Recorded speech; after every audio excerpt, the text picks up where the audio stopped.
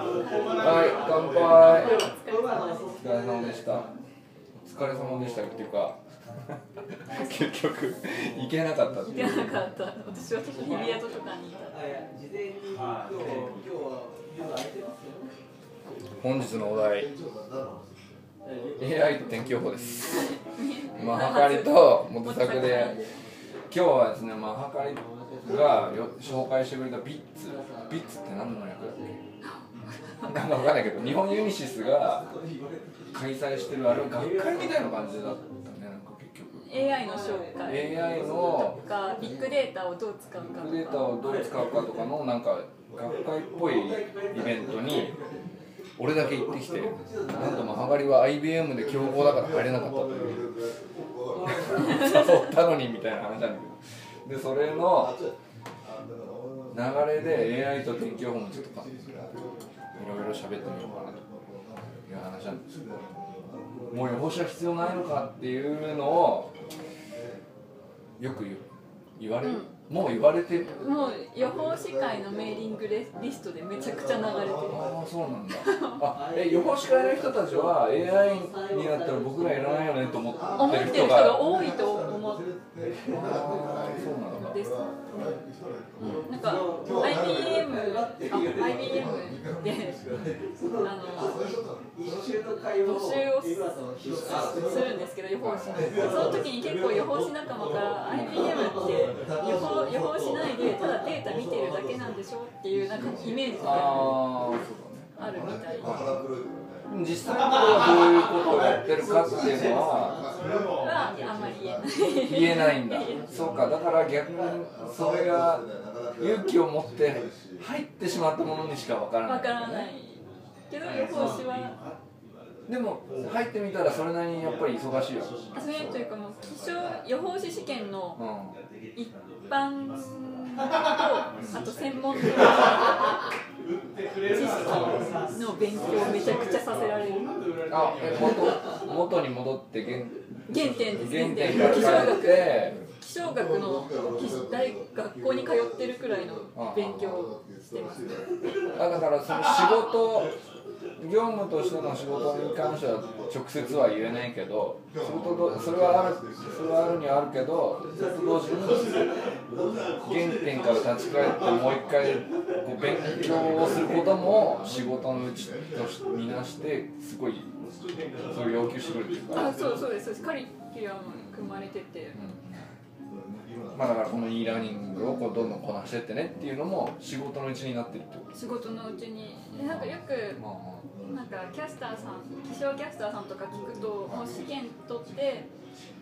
あのオーディション受かっちゃったら勉強も知識もないままじゃあもう天気予報やってとかで。まあ、あとはなら慣れてねっていう。慣れてね。もうやりながら慣れてねっていうあと予報士試験通ってるからいいでしょっていう。もう通ったんだから通ったところのパートの勉強についてはもうでできてるものとして立ち返る必要もないっていう感じになっていっちゃうけど、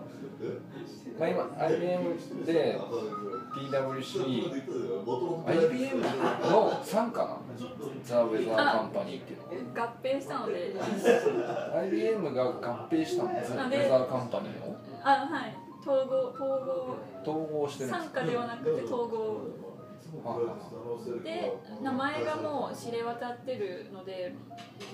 ザ・ウェザーカンパニーなんだけど。名前はそのまま商品名というかそのまま使って。あじゃあウェザーカンパニーは組織名じゃなくて。今今は組織組織なんですけど、うん。そのそのまま残ってサービス名になって、ん。WSI とかパイロットさん向けのアプリとかもあとエネルギートレーダーさん向けのとかもそのまま名前が IBM の気象事業部みたいなところだと思えばいい。あそうそうです。それでいい。のザ・ウェザーカンパニーにい。て気象予報士としてどういう業務をやるかっていう話。あそうですで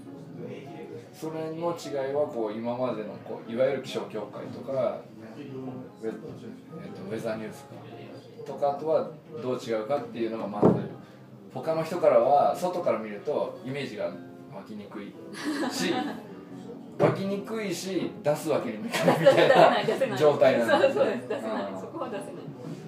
そうするとでだからその気象予報士の予報士会のメーリングリストの中で天気予報と AI っていう話題になった時にもう予報士は必要ないのか悶々ってなったところから進まないってでいうも私たちそう私たちは絶対コメントできないのであーで入社したものだけが知ることの世界あそうそうなんだよねですそうですそうです。で報道発表とかであのちゃんとプレスリリースされたもののの情報しか外の方は見ることができなくて。で私ももうあの情報を喋っちゃダメよっていう。守秘義務守秘義務の契約を全員結んでるの。で今日も結構気をつけないと。いけない感じは。あ今日は報道発表されるというか AI の一般的な話しかこのに絞ってるから大丈夫だよっていうところを話すけど、はい。でもそれだけでも意外と他には知られてないことがたくさんある。多分たくんさんあると思う。というか予報士試験のみなんか日本日本日本という言い方をしてしまったらなんか反感を買いそうなんで。日本日本というかよく日本の予報業界とかで言われるのがもう一般知識と専門知識の勉強は予報士になったらいらないからねみたいなことを結構な慣例的にそんな風になっちゃう。慣例的に言われていて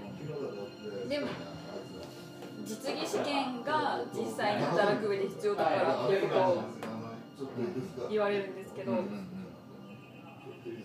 海外の考え方は全く逆で。ああそうなんだ。全く逆実技的なところはもう AI 化していくからむしろ知識レベルのところを人間がしっかりトレーニングするみたいな実技実実技レベルのところよりも何でしょう本当気象学会とかでいう新しいことが今どんどんどんどん生まれていってるのでその新しい知識とあと気象学の本当の基礎でその数値予報がどういう考えでその答えを出しているかをしっかり学べるというか数値予報の中身をブラックボックスとしても扱わせてたら置いていかれちゃうよ置いてかれちゃうよってあそうですそうですそうです。でなので一般あの予報士試験の実技のところは結局数値予報が全部出した答えをただ解いてるだけなので。じあ、そのあなん解き方のでノウハウ的な部分があそうです。なんでその数値予報がそれその天気図を出したのかっていうところをしっかり土台を作らないとダメですよっていう。AI が出してきた答えを人間様が監査して外に出すから監査できるぐらいのレベルにいかないといけないって話だよね。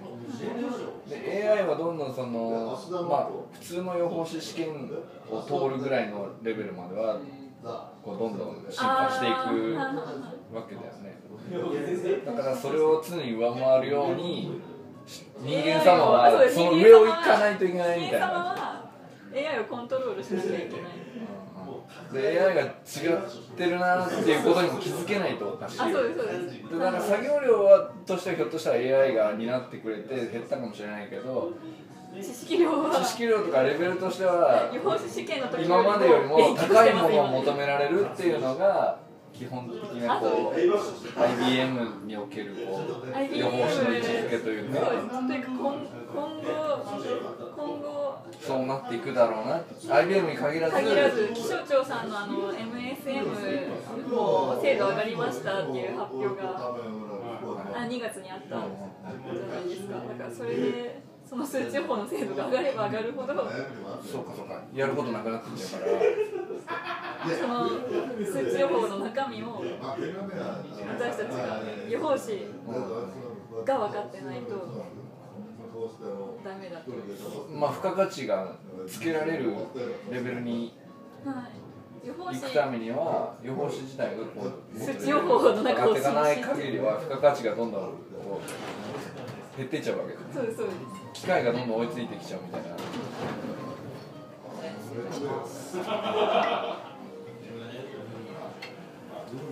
港一がサラダになります。港一屋サラダ。はい。と読むんですね港にはい、そうです。お願いします。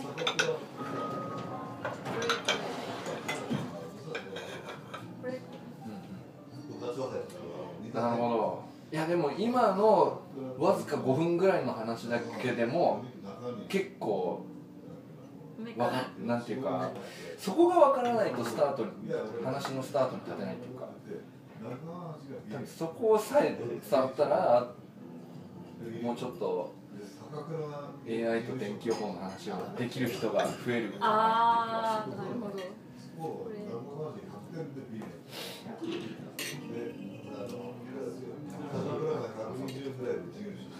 あ適当適当。あどうぞ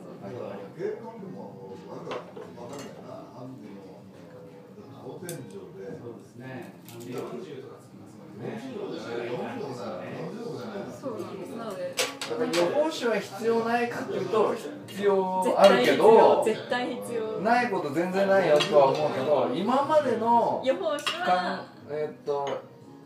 今までの予報士っていうのも一今まで括りにした感じだからなんていうか今までの常識予報士における今までの慣例的常識は通用しないくなっていくみたいな逆そうですね。逆に必要な知識が今までと逆になりますね。逆になる、今まではその実技がいわいわゆるいわゆる一般的に言わ経験積んれてるのがで実技にどんどん慣れていけみたいな。っ慣れていけていうで風潮だったけども。開発とかはあのモテ作さんのようなあの学者さんがやってくれるからその予報士の仕事じゃないそこは。っていう感じになってたわけだよね。でその数値予報が出した天気図を見て予報士はその天気図からが仕事だよってなったんですけど多分そこの住み分けがもうなくなる。その意識が変わっていくよっていうことが天気予報と AI っていうテーマのこうなんていうか大前提っていうか、そうそう。ですねうだなのであの専門知識一般知試験の話しかできないんですけど試験のあの一般と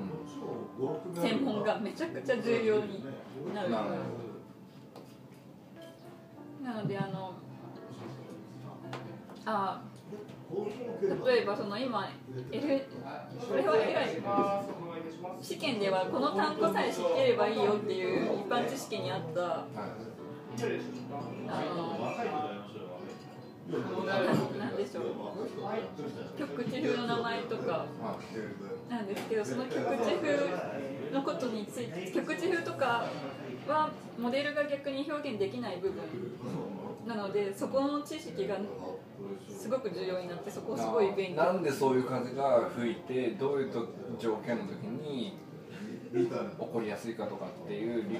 屈まで突き詰めないと局地風の名前だけ覚えてても使えないって話。そうですね。なのでモデルが表現できない場所を予予報士が予想する力と。で場合によってはそのモデルによっては改造できてたりとか表現してたりするのを見極めたりあそうそうそうですね。とかあと今まであの前あのメソメソが何でしたっけあの気象庁あメソ気象研究会でおっしゃってたみたいにあの250メートルの格子じゃないと個々の積乱を表現できないって言ったんですけども。で今まであの MSA 日本の MSM だと5キロ格子である程度のそのポテンシャルを表現できててでそこのとこで予報なんか予報士の個人の力というのが何でしょうあの予報士の個人の経験とかでその今日は積乱雲絶対発生するとかしないとかっていうのはもう250だったらモデルがある程度表現できちゃうってなるとこの5キロのとこで力腕を見せれた。ああなんか経験的にもう俺は分かってるぜと経験がまだ浅いからあんまりまだうまくいかないみたいな人たちの差はそだんだん埋のまっていくわけで。そうですね。モデルが埋めちゃうっていう。モデルが埋めちゃう。とするとじゃあ付加価値の見方が変わっていくよねそうそうそうですそれはモデルのそれはモデルの進化だけど AI の進家もどんどんそういうところに入ってきて経験のある予報士実技経験があって今までは経験でこう付加価値を生み出してたという自覚があった人たちもその付加価値は結構 AI が進出してきて埋まっていくあっていうことはあり得ると。あのスパコンのうんなんでしょう発展とか、高解像度化していくっていう、まあ、それは AI そのものじゃないけど、まあ、モデルがどんどん高くなっていくっていうこと。とある程度その今まで熟練の予報じゃないとできなかったみたいな話の部分にどんどん AI 化りするっていう部分が入ってきてその両方が合わさってくると今までのよくあるこう予報士とはこうあるべきみたいなのがちょっと像として変わってくるというか。予報士として変わるべきというかもう気象学学者レベルにならないと気象学者というかその気象学系の学校で習うような知識が求められる時代になってくるのかな。まあだから実際その IBM ではえっとまあ AI をまあ売りにはしてるけど業務その詳しいことは置いといたとしてもその AI で気象予報士に上の人から求められるのはその気象学的な根本的な理論なのなんだろうっていうことを逆にガンガン言ってくるわけちゃんと学べと言ってくるわけですよね。最新の論文論文を読めとかあと反対にその何大昔のアメリカとかイギリスとかの気象学会で発表されたようなまあ、根本的にはこういうところから始まってこういう概念があるんだよとかそういう話をちゃんと把握しとけみたいな話になるわけですうん。なんかあれだねだからその研究者になろうと思ったけどとりあえずでドクターに行ったけど学者になるのも違うけど勉強その研究的な部分は割と好きっていう人が IBM に行くのはある意味いいのかもしれない。あその大学の先生になるのとはちょっと違うけど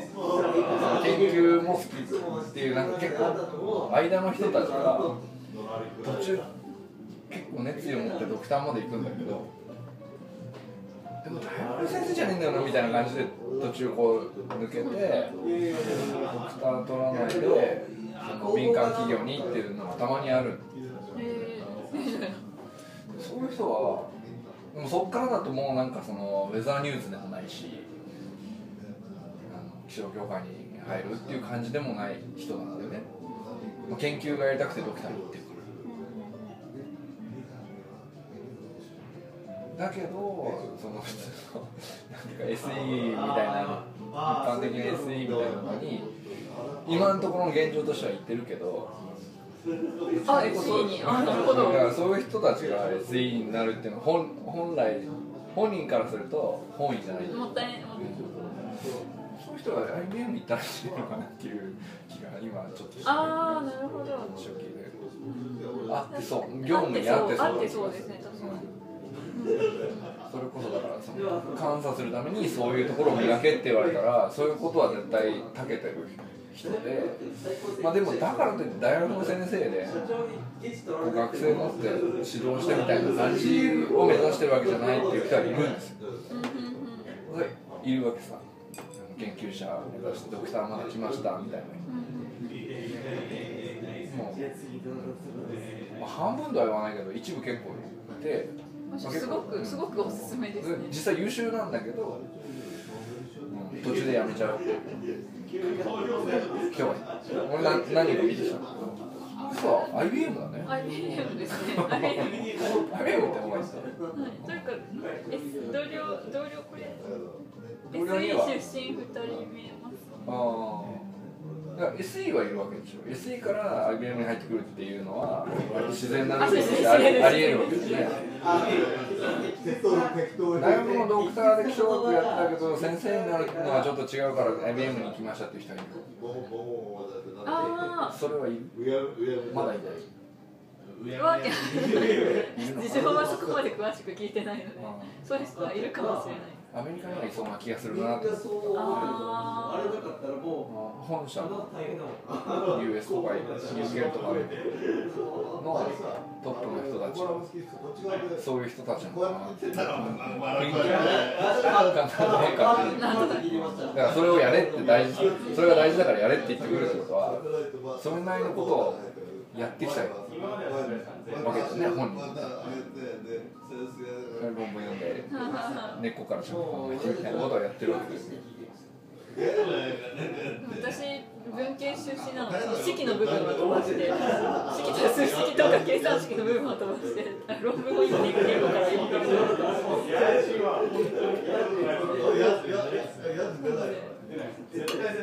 でやったと思います結構満席だでも今日のなんか AI となんとかなんていうタイトル今日のシンポジウムに出てきた先生みんなもともと文系の人だほへえなんか法学部かなだったんだけどだんだんその社会で共有共有値をどうやって作り上げるかみたいな社会学的なことをやってるうちに AI に入ってまあだから今国立情報学研究所新井紀子あ今は AI 研究研さん AI 究研究のなんか最先端みたいな感じですごいあ一橋大学の法学部です。完全に文系だったんだ完けど全文系気が付いたら数理論理学に行って人工知能にななってしまった。真逆から真逆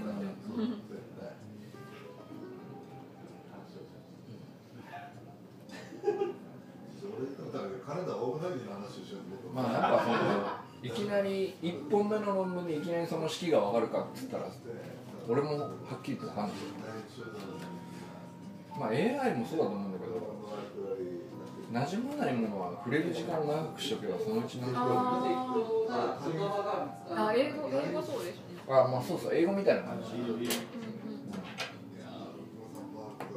りあえず聞き慣れない限りは結局何回習ったところでよくわかんないみたいな。やっと人の発表の英語が聞こえるようになったみたいな感じの時に、うん、近いなと思うのはその式もそうなんだ。よなんか俺ももともと数値予報とかデータ動画とか大学の研究室の時にそういうこと一切やってないから。だからそこの独特の式計算式があるけどそこを全く触ってなかったで現現場の観測で気温測って風測って回して操作してみたいな。もう現現場でまあだからエンジニアとまではないけど現場に出かけてって何するかみたいなことをずっとやってきたからある時からそのデータ動画数値シミュレーションみたいな。最初式全然読めない。ん。だよもう数学がもともと強い弱いとか関係なくてあの世界独特の数式だから強い人も最初多分いきなりパッと読まされても読めない。論文の数式えでもまあだから英語と一緒だなと思った時はずずーっと聞いてるとなんとなくはだからまあ俺は今 AI に対してもそれはそれを感じてるんですけどまあ全然こうふわっとしかこうよくわかんないです。何回こうもっともらしいことをいろんな人の講演とかなんか YouTube でもいろんな人の講演とか出てるからあ AI うん AI の話。もうとにかくどういうものなのかっていうのは、まあ、仕組みはこうだよ。インプットがあったらなんかこういうことを数をこなしてこういうふうに学習させてでアウトプットはこうだよみたいなさ。大体概念としては、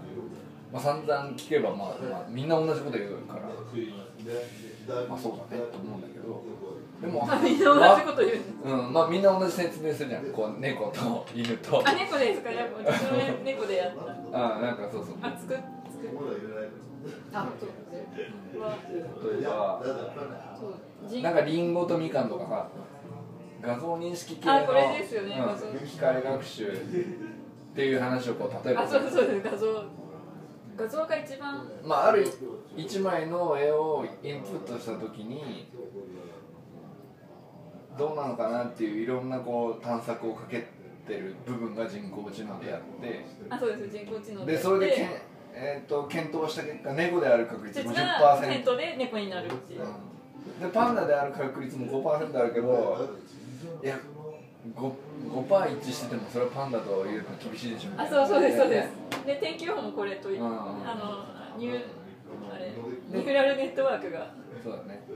予報士試験でやるやそうだからニューラルネットワークは人工知能っていうつ人工知能です。人工知能です。然問題ないよね。だから人工知能の一種一種というか。あもそういうことうザザニュー人工知能、でニューラルネットワークにまたなんか種類が何種類かあるけどまあそこはそとりあえず置いといていいか専門家に専門家にとりあえず置いといていいかみたいな。ニューラルネットワーク人工今人工知能人工知能って言ってるんですけど、ニューラルネットワークは。ニューラルネットワークって置き換えて話してても大体良さそうな話が多いそうそうだから NN って略してもなん。かかっち悪いから AI の方がいいかなっていうレベルなだからなん。かさ別に人工知能自体そんなに本当は目新しくないっていうか。あ目新しくないです目新しくもう何十年もやってる話だけど。AI がかっこいい。映画とか AI, AI って言い出したのはこ最こ近。数年ってまあまあ10年ぐらいか。AI って。で今なんかディープラーニングで調べたんですけどその第第3次 AI ブームが来てるらしい。ああそっかそっか。なんかブームが何回か来てでここれのために。2011年以降がなんか AI 第3次 AI ブーム。ああそうそう。2011年以降ぐらいの話がまあ今日は結構してましたけど。なんかその同じ人工知能の中でもいろんな種類があってうまくいかなかった種類のものをできるようになった新しい手法が出てくるとそれでまたブームが起きるあそうですそうですそうです。雰囲気だよね。でなんかそのいろんな人工知能あったんだけどやっぱり人工知能が苦手だったのがなんかその画像認識の中でもだから点で点と点でこう比較していくのは点と点で比較が成り立つのは人工知能でずっとで古くからやってきたんだけど輪郭をこう取って大体こういう形をしてこういう雰囲気のものって大体猫だよねっていうそういう枠で捉えるような感じのことが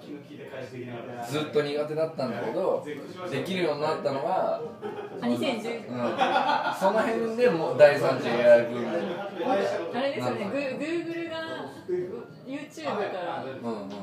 猫の判別に成功みたいな。うんうん。どっかにあるんですよね。あこれだ。2012年。そうディープラーニングでここまでできなかったんだと思って YouTube からた、うん。画像 YouTube の画像から猫を認識することに猫が映ってるで画像。なんかそのディープラーニングっていう名前が。でもディープラーニングも結局ニュートロニューラルネットワークの進化版。進化版を言ってそんな新しいもんじゃない。なん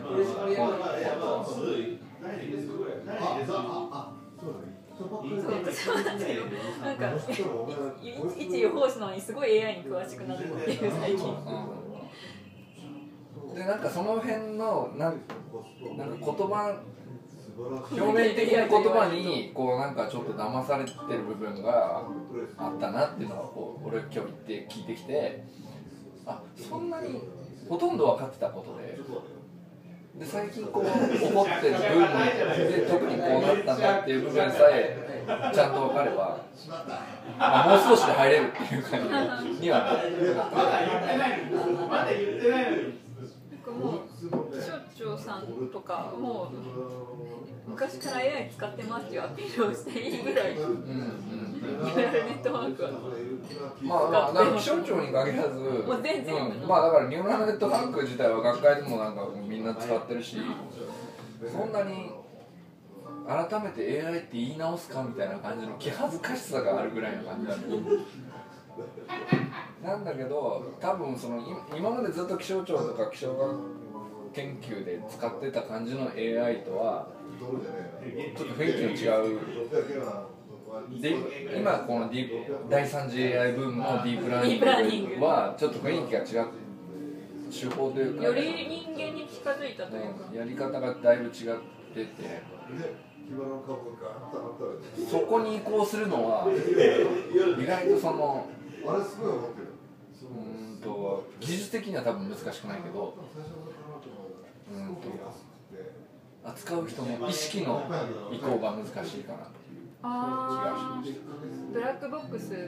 たうんていう部分まあブラックボックスはブラックボックスだった部分も前からあったと思うけどそのなんていうか AI というスキームを作る作り手自体もこう意識をだいぶこう考え方を変えて第三次が第三次ブームが起こってる気がする。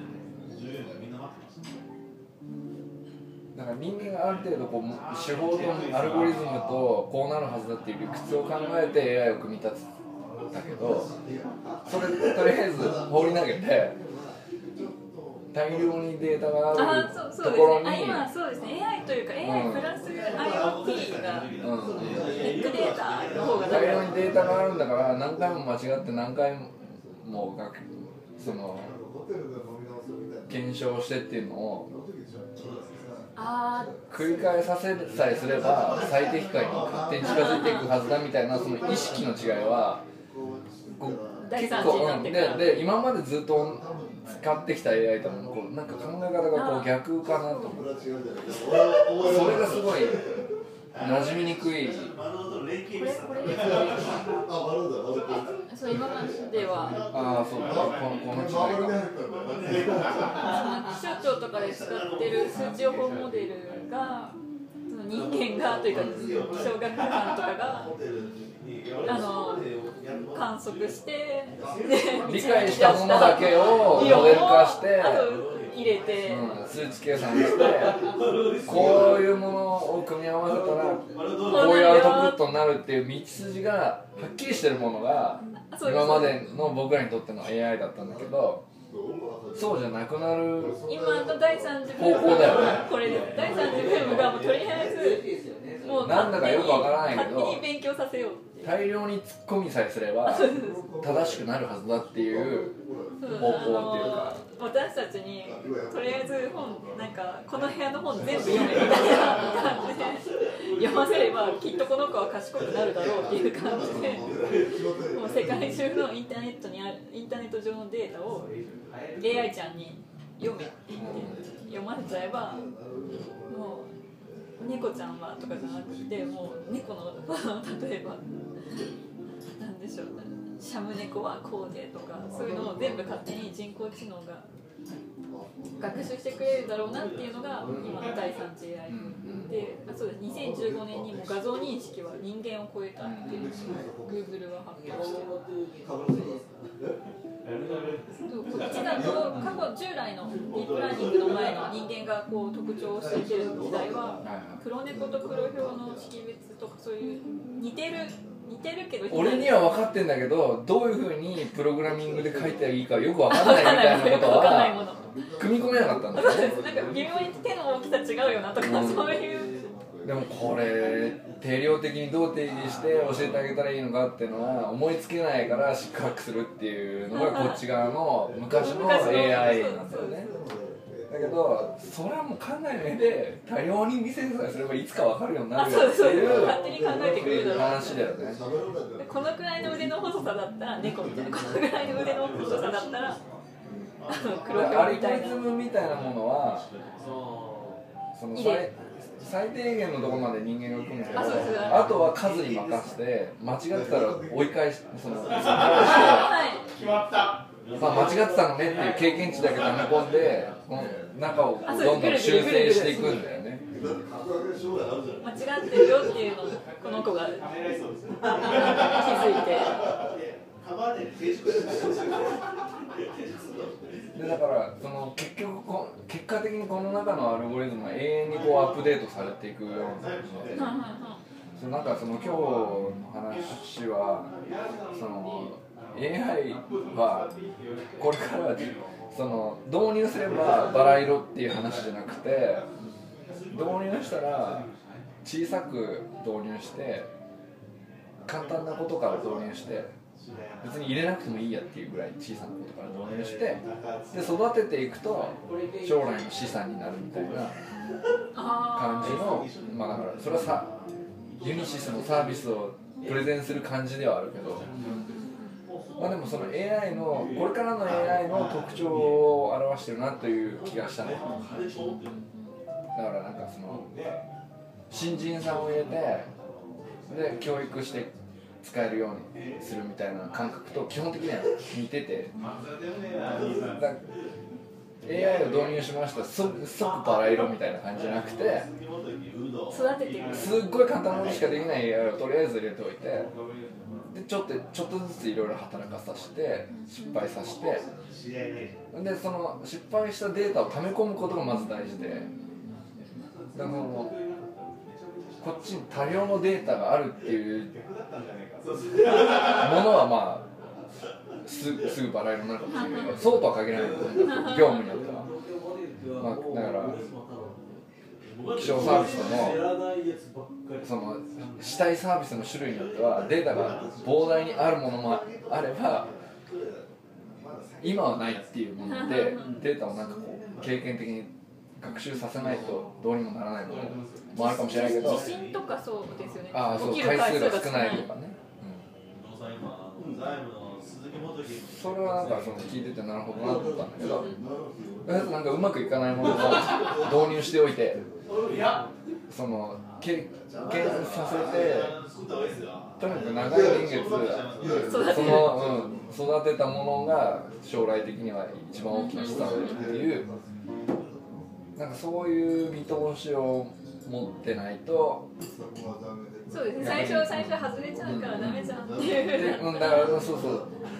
大してこれ AI にやらせるほどのことなのみたいなことでも導入した方が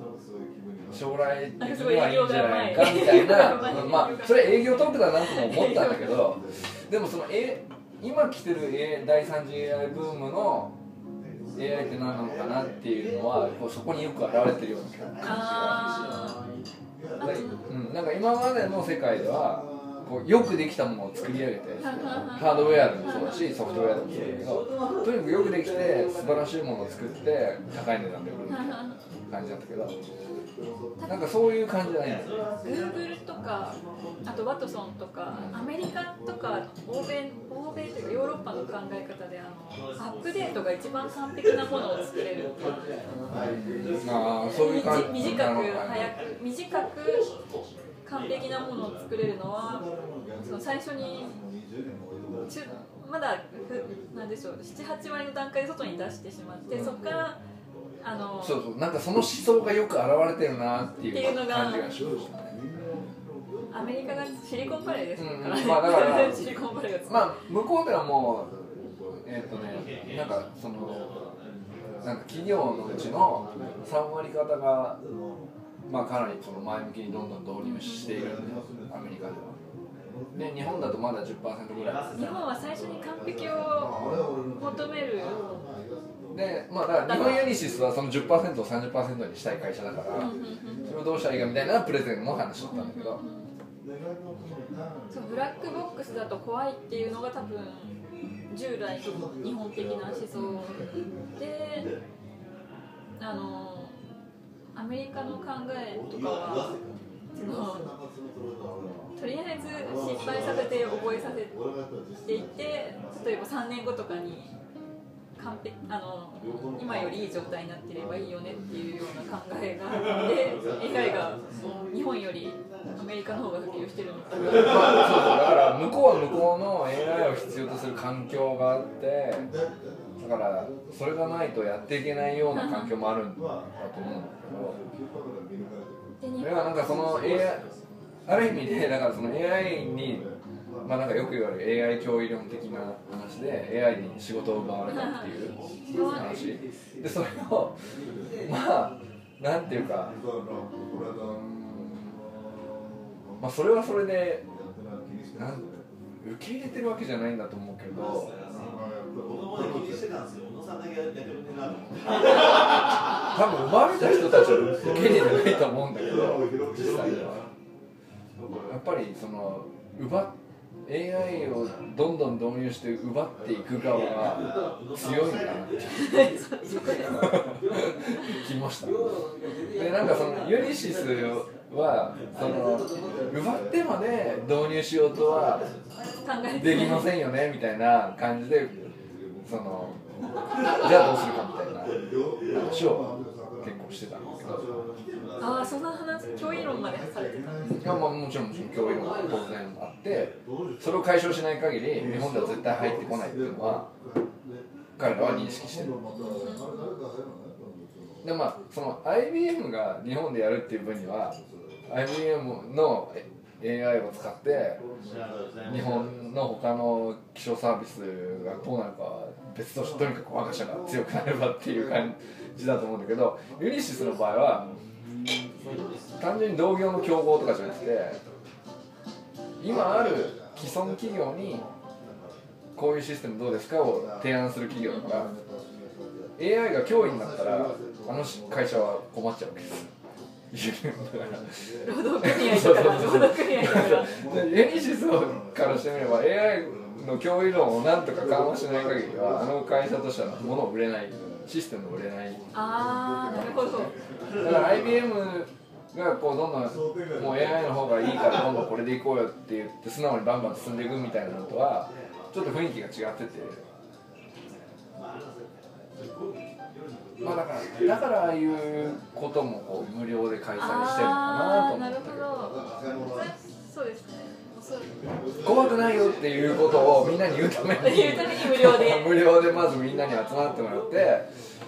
で実際に怖くないようにするためにはこれをやったら怖くないんじゃないですかみたいなことをプレゼンしてるわけです。ユニシスはで多分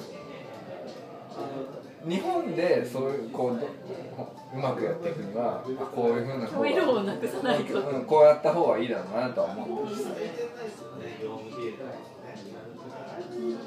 だから多分それは IBM にそうされると日本を取られちゃうと思ってるかもしれない。ですねユニシスからしたら。あと日本多分終身雇用が強いのかなっていうのもありますああそうそう。なんか職業の流動性みたいなことを喋ってましたねなんか海外ってあの昔 GM が潰れ潰れた時潰れたというかあのアメリカで経営破綻して時にでもその後すぐ一回なんかだいぶ解雇したんですけど向こうであの潰れたとえその企業がなくなったとしても違うところに必ず職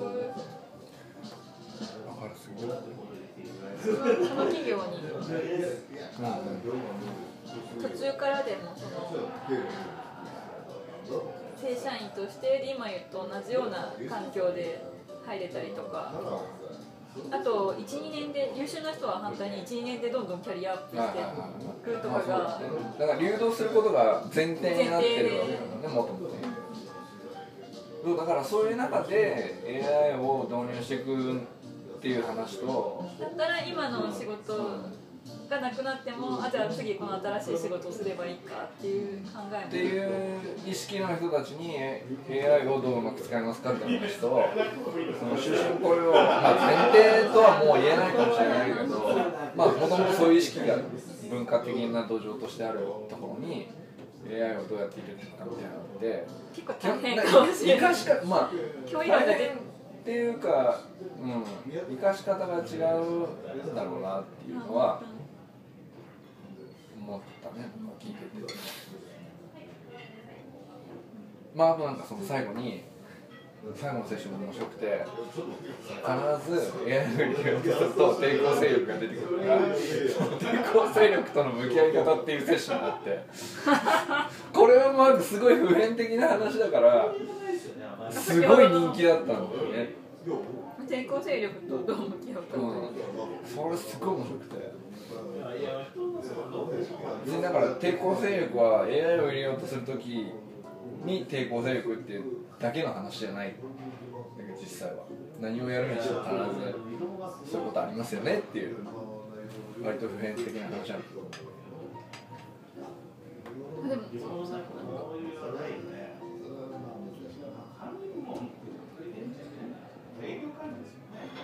あ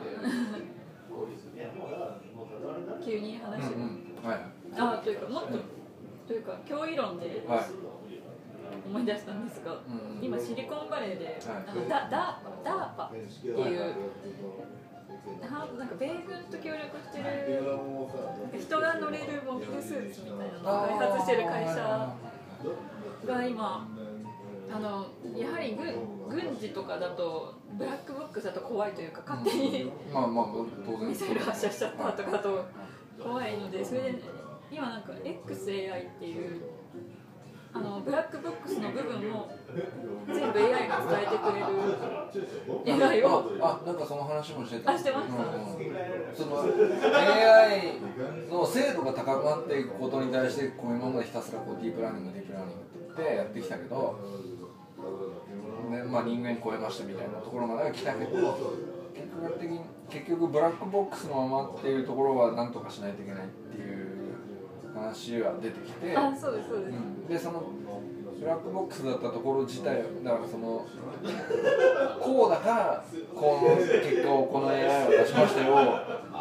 ちゃんと言ってくれる AI あそうですそうですそうですもう二重三重だなと思ったけど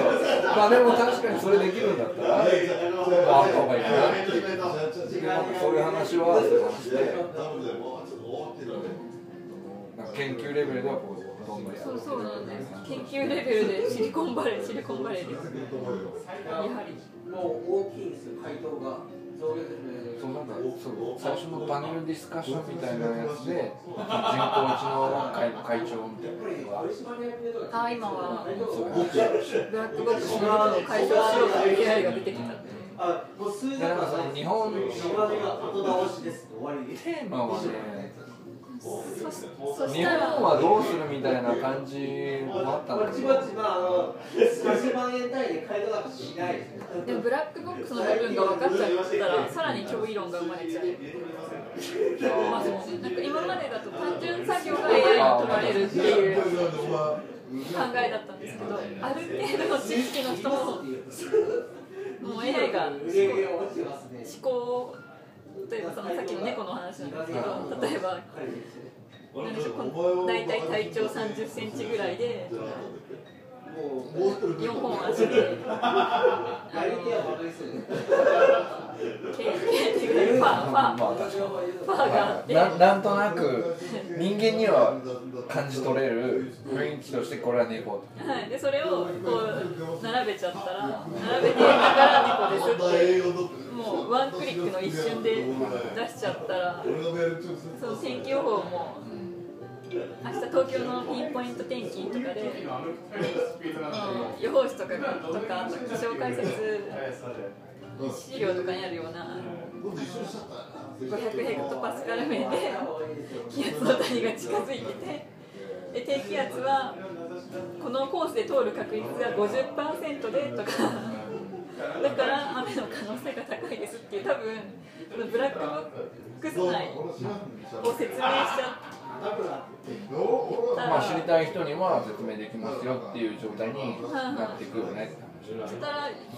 今の現状の予報士試験のあの暖気流とか。確かにそのそうそうそう。だからうーんと予報士はこういう能力が必要っていう前提が変わっていくはずだっていうのは少なくとも見据えた方がいいっていうか。そうですうん。まあだから別に予報士がいらなくなるかって言ったら別にそれはいいるよっては思うけどただどういう予報士が必要なのかっていうのはそのまあこうとも言えないけど少なくとも AI の進化の度合いを見てないと自分らもこういうふうに予報士としては進化しておかないとそうそうですね。付加価値を与えられる人になれないなっていうのも見えてこないっていう。はい、10年後、10年後、例えば、10年後、本当に。例えば30歳の予報士の方が40歳も予報士を続けてらっしゃってでそれに20代の新人さんがその時入ってきたとしてでその時はもう あのね地元の人しか分かんないな局地風とかあと個々の敵なんとかも表現できるようになってた時代になってたとしたら。いや確かにこの道30年やってますみたいな培ってきたものを10年後は埋め AI が埋めちゃうかもしれないから。それは見据えないといけないってことだよね。そうですただその10年培ってきたものとか30年培ったものとかがちゃんと論理的な思考に基づいて出されたものだとしたらそれをそれですごくそうだからでもかといっていきなりその AI によって置き換えられたかっつったら置き換えられたからその30年培うものが全部無駄になるかっつったらそうでも多分なさそうでその30年培ったものは何なのかなっていうのを自分で向き合って把握してる人は別な価値に転換できるかもと思うんだよね多分ね。あ AI がここをこの30年培ってきてこれをできるようになったっていうのを把握できれば。あそうです。把握できれば。あこれを AI ができるようになったんだって分かれば分かって受け入れた人は別な付加価値を埋めると思うんだけどそれを認めない人は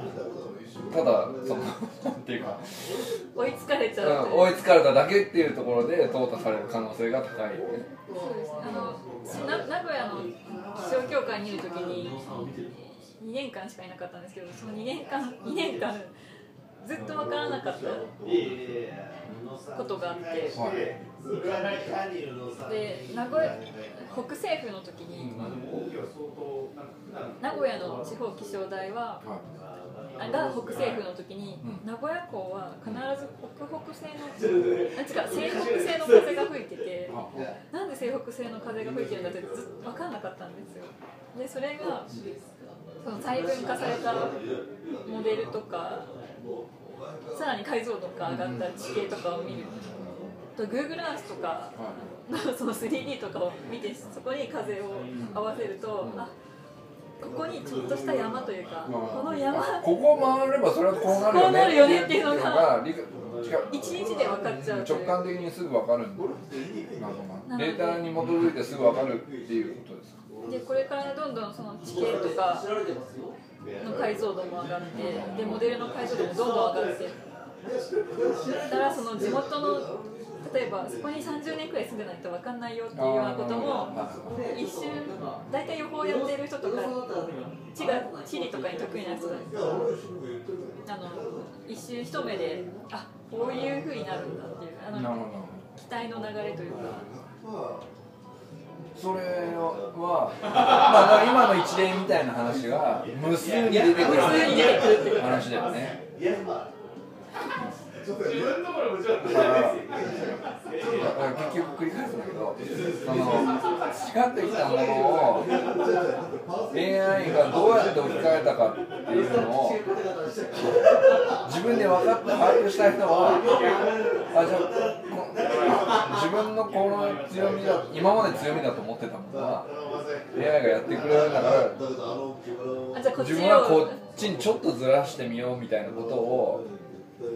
そうできない方向修正とただ食われるだけただ食われちゃうだけになっちゃう。そうです。なんとなくなんとなくあのあこの風の時はとかこういう気圧配置の時はでなんとなくなんとなくで予報してると AI の方が分かっていったんですけど。そういうことですね。はい。でなんかそう、まあ、シンポジウムのパネルディスカッションも普通になんかちょっと人の意識の話は結構してたんだけどで AI の技術がどんだけ進化しても受け入れる社会になるかどうかは結構大問題でその受け入れようとしていけば意外と奪われない仕事はむしろ新たに積極的にこの仕事ができるよねって作り出せるから奪われずに移行していけるっていう話だ。けどそんなうまくいかないじゃん。受け入れないと。受け入れないで抵抗する人は必ず出てくる抵抗しちゃうと。で抵抗するとそれは無駄なあがきになる可能性が高い。で無駄なあがきをしたからっつってその人は悪いのかっつって食い潰していくまあブルドーザーのように AI がね AI が食い潰していくっていうのがどっかで起きちゃうかもしれないねっていう。だからそこを見そこだけを見れば脅威論になるしでも受け入れる仕組みをうまく考えたら脅威じゃなくてすごい希望に見える。希望に見える人にはもうものすごい希望に見える。私とかです私俺が喧嘩を売られたと思ってでだから俺はこう干したみたいな AI というか。もう呼ばなかっほとんど人間が手作業でやってた部分を機械がやってくれると時間に余裕ができるのでその空いた時間にどんどん気象学の勉強とか今まで読んだことのなかったような気象学の本とかを読むだ時間よね。贅沢な話だよね。ができる。た可愛いけどでリストさん。まあだから今まで手作業で例えばあの気圧配置から全部あのパソコンで入力するとしたらそれを全部数値予報のデータだけを見て AI がもう全部文字にしてくれればその文字を入力する私の思考を AI が文字にしてくれるので打つ手間。が打つ手間は少ないのでその打つ手間が気象学を勉強する時間に変わるとそこなんだよね。それを受け入れられる人そうとだね。うん。いやなんかそう。その AI が書いた文章が気に入らないから私はこうだからねそうそう今日今日だから技術的な話いっぱいあったんだけどそこよりもその心理的な話がすごい響きましたね、ですね。AI の書いた文章が気に入らなければ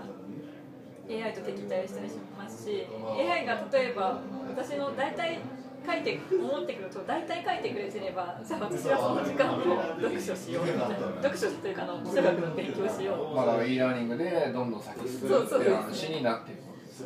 あと最新の研究を見たりとかなんか違うなっていうところっていうか一番葛藤する時はどういうところにあの葛藤まだ AI こういうとこあるか。みたいなあーあれやはりあれですね最初のこの。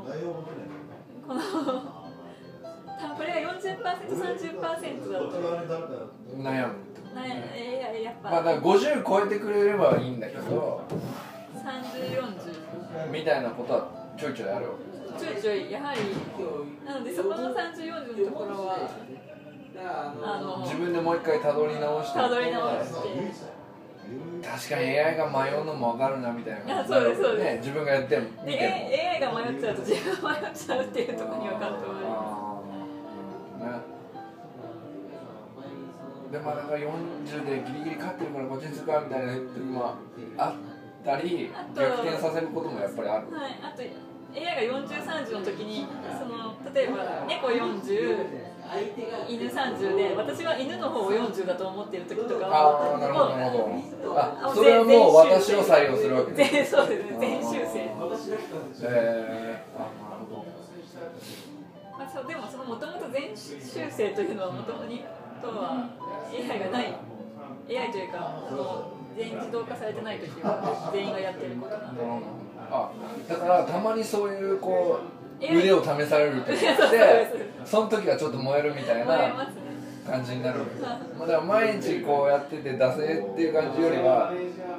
たまにやれる時がすごいこうイベント化するみたいな。イベントかイベントか覚え覚えとる来た来たと。でも AI はしばらくそのいや40だって意思を曲げなかったりとかする。んでえー抵抗してくる。AI も抵抗してくるなるほどいや犬だよこれは犬だよっていう感じで。AI は猫だ猫だって犬だ犬だっていう。のはまだあるので、まあ、でもそこがあの象学の基礎知識とかあと実況把握とかどれだけ実況把握できるとかその結果的に自分が正しかったとか答え合わせするよね。あしますします。でやっぱり自分の方が正しい場合が多いわけあれ AI もそのどんどんリアルタイムで学習してる。のだからその AI が読んでたのを自分が覆すするじゃんその瞬間は後から見た時に勝ったり勝ったり負けたりトントンなんだ。そうです。ね勝ったり負けたりあそうなんだトントンなんだ。トントンですね。へ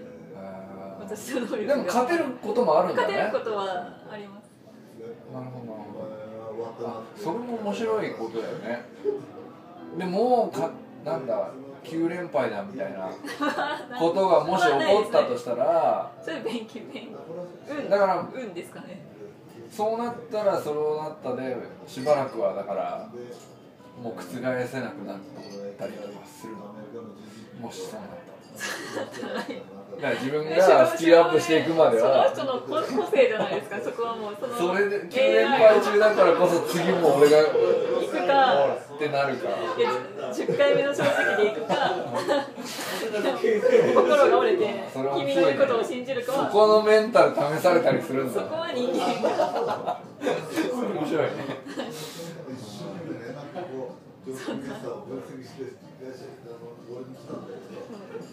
急に巨人は13連敗ですよえそうなんですかこ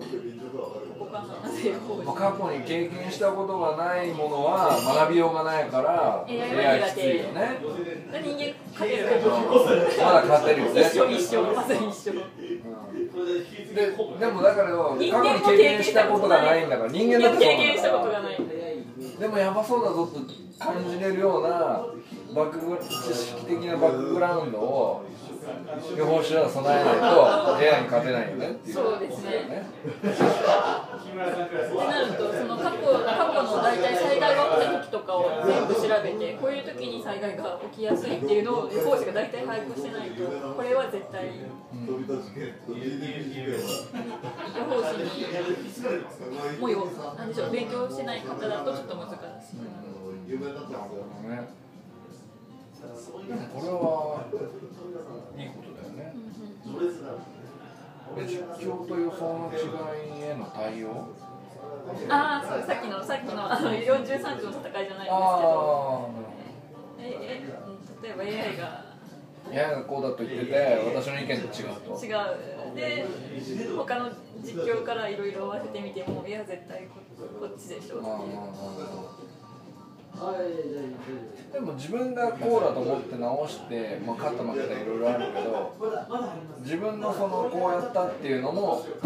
データとして蓄積されていくんだ蓄積よねされる。それも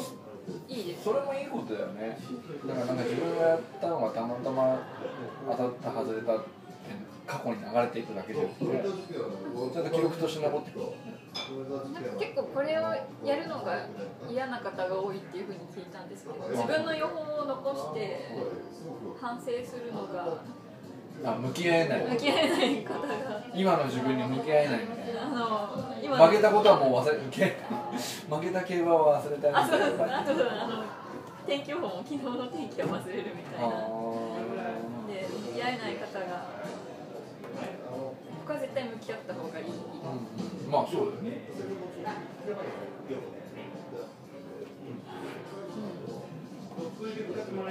あと数値予報ですね。ブラックボックスのであの34条の戦いは。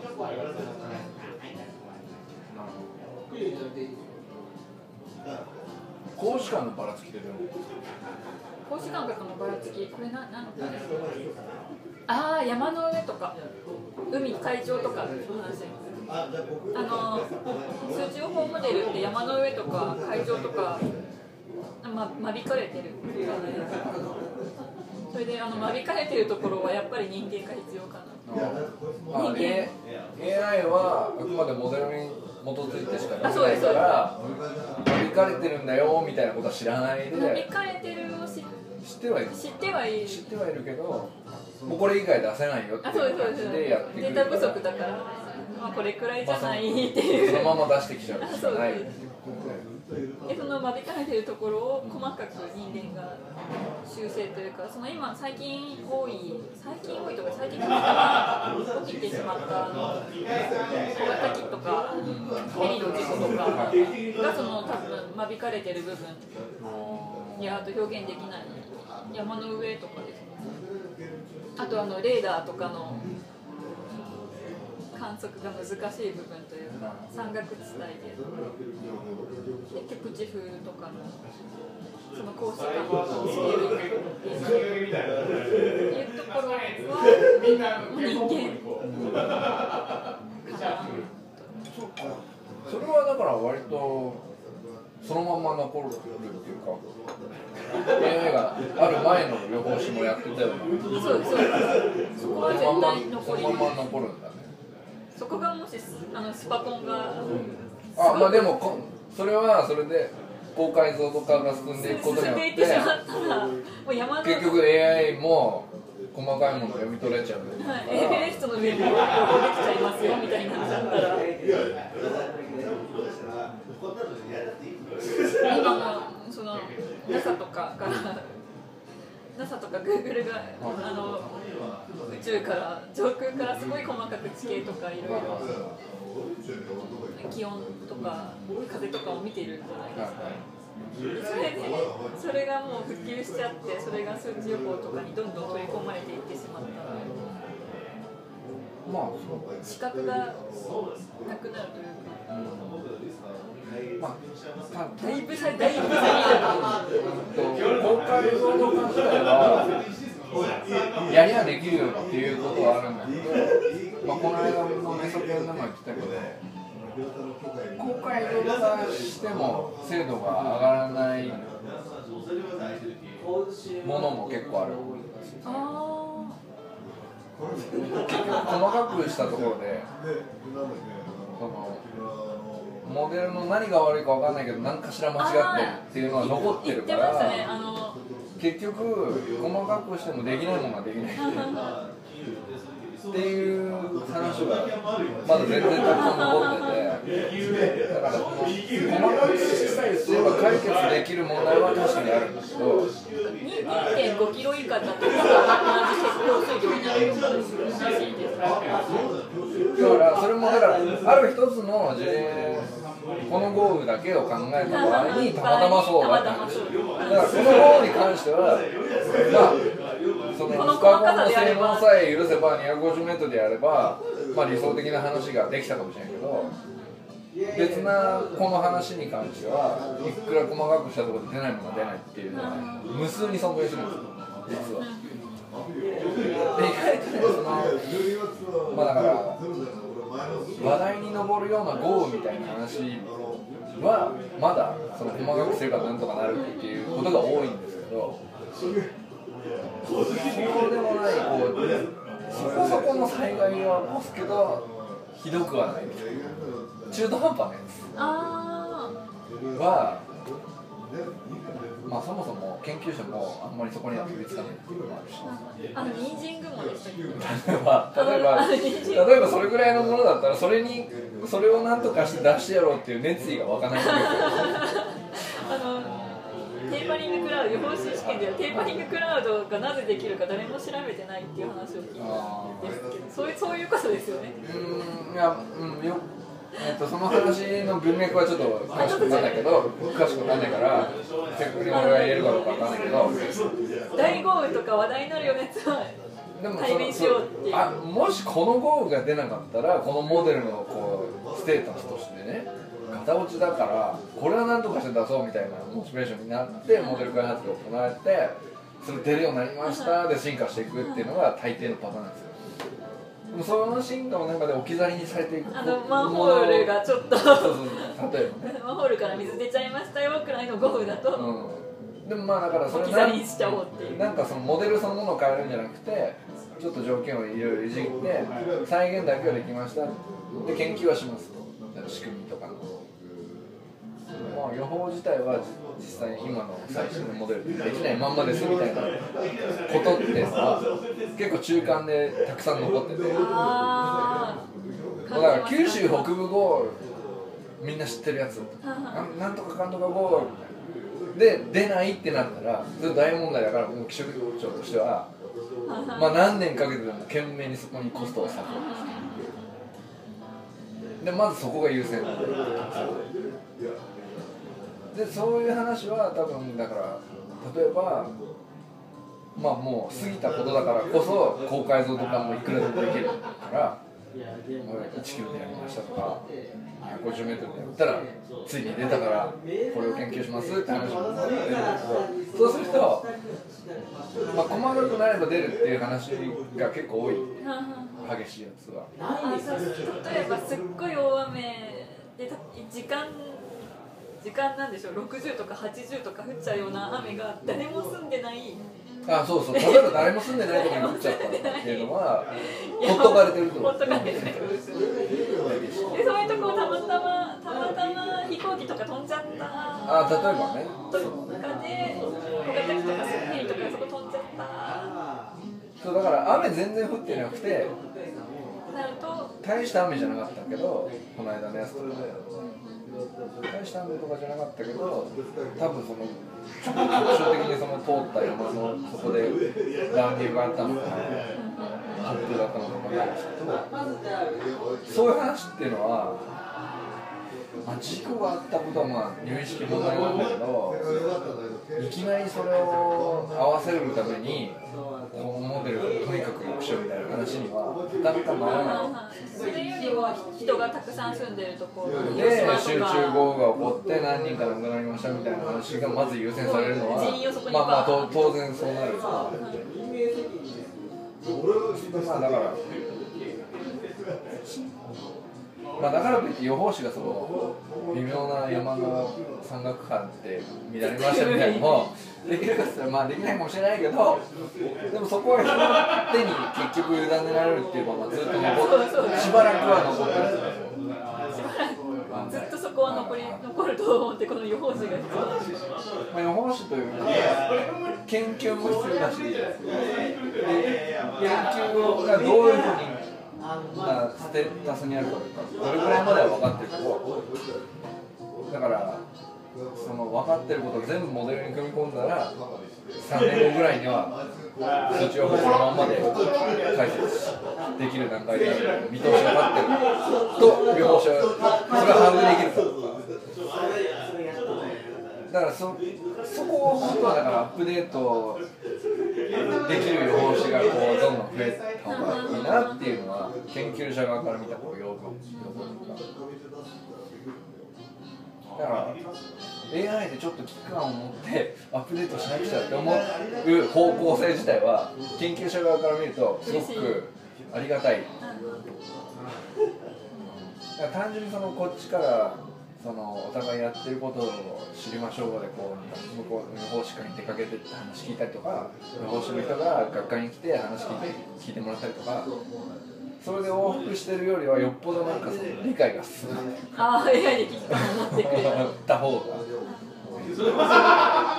構能動的になんか何かないかを探して自分でどんどんアップデートする、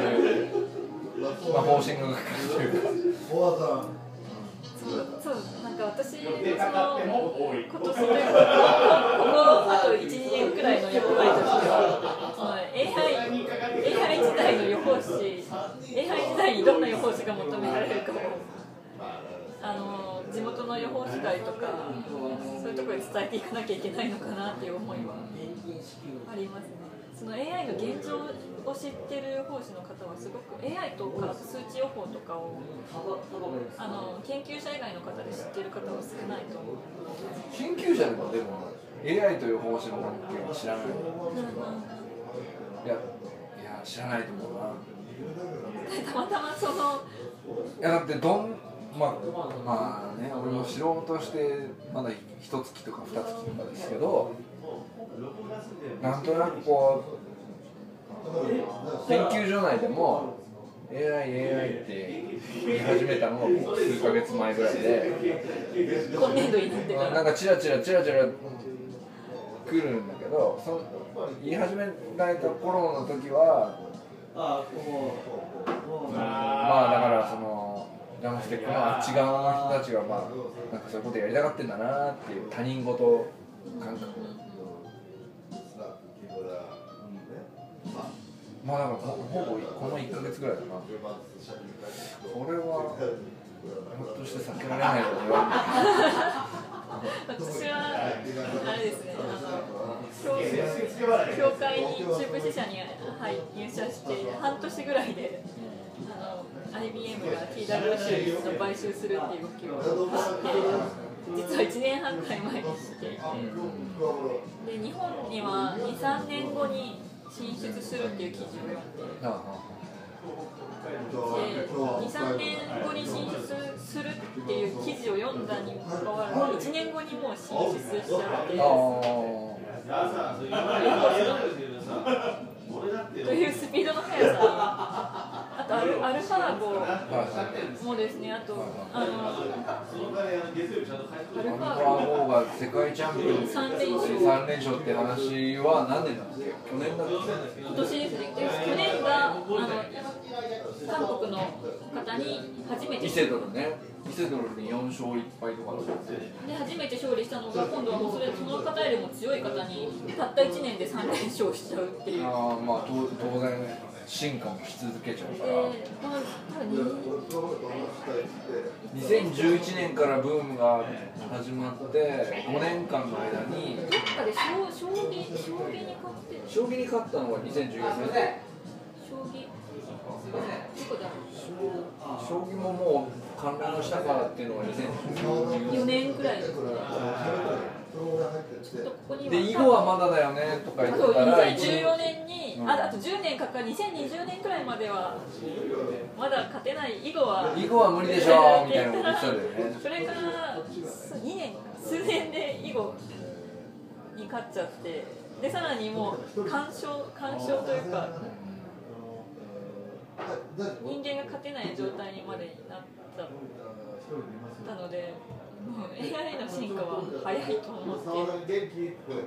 飛びついたんですけどほ絶対この波は予報業界に来ると思ってたら本当に来て実際映っといて映ってみてその実感としてのやっぱり映るにはもうあの時しかなかったみたいな感じ。そうそうですねそうです正しかった。正しかった正しかったというか。直感直感は信じてよかった。なああ信じてよかったという感じですか信じてよかったですね。イギリスとアメリカの気象学のすあの本当に一般気象予報士試験の一般知識と専門知識を大切にしてるので欧米の方。あっちはあっちで予報士の国家資格なのああります。ありまああで似たような試験なんですかねあわかんないんですけど。コンサルティングと予報士試験があってあと日本よりもめちゃくちゃ多くの気象学者と予報士が向こうにはいらっしゃるのでアメリカにはいらっしゃるので人口3倍っていうのよりもさらに率が高い。率が高いあと待遇がめちゃく日本よりいいですね気象コンサルタントになると気象学会が認定する気象学会の気象コンサルコンサルコンサルタントさんはなんか弁護士さんよりも給料がいいとかそういうのは聞きそんなニーズあるそんなにえ日本とアメリカのその気象の産業のお金の比が1桁違うっておっしゃってる言ってるのでで日本とアメリカのその企業の総利益率が3日本はアメリカは30%ぐらいなんで1桁と違うわけではない企業の企業の企業のその企業のどれだけ利益を上げてるかっていう日本企業とアメリカの企業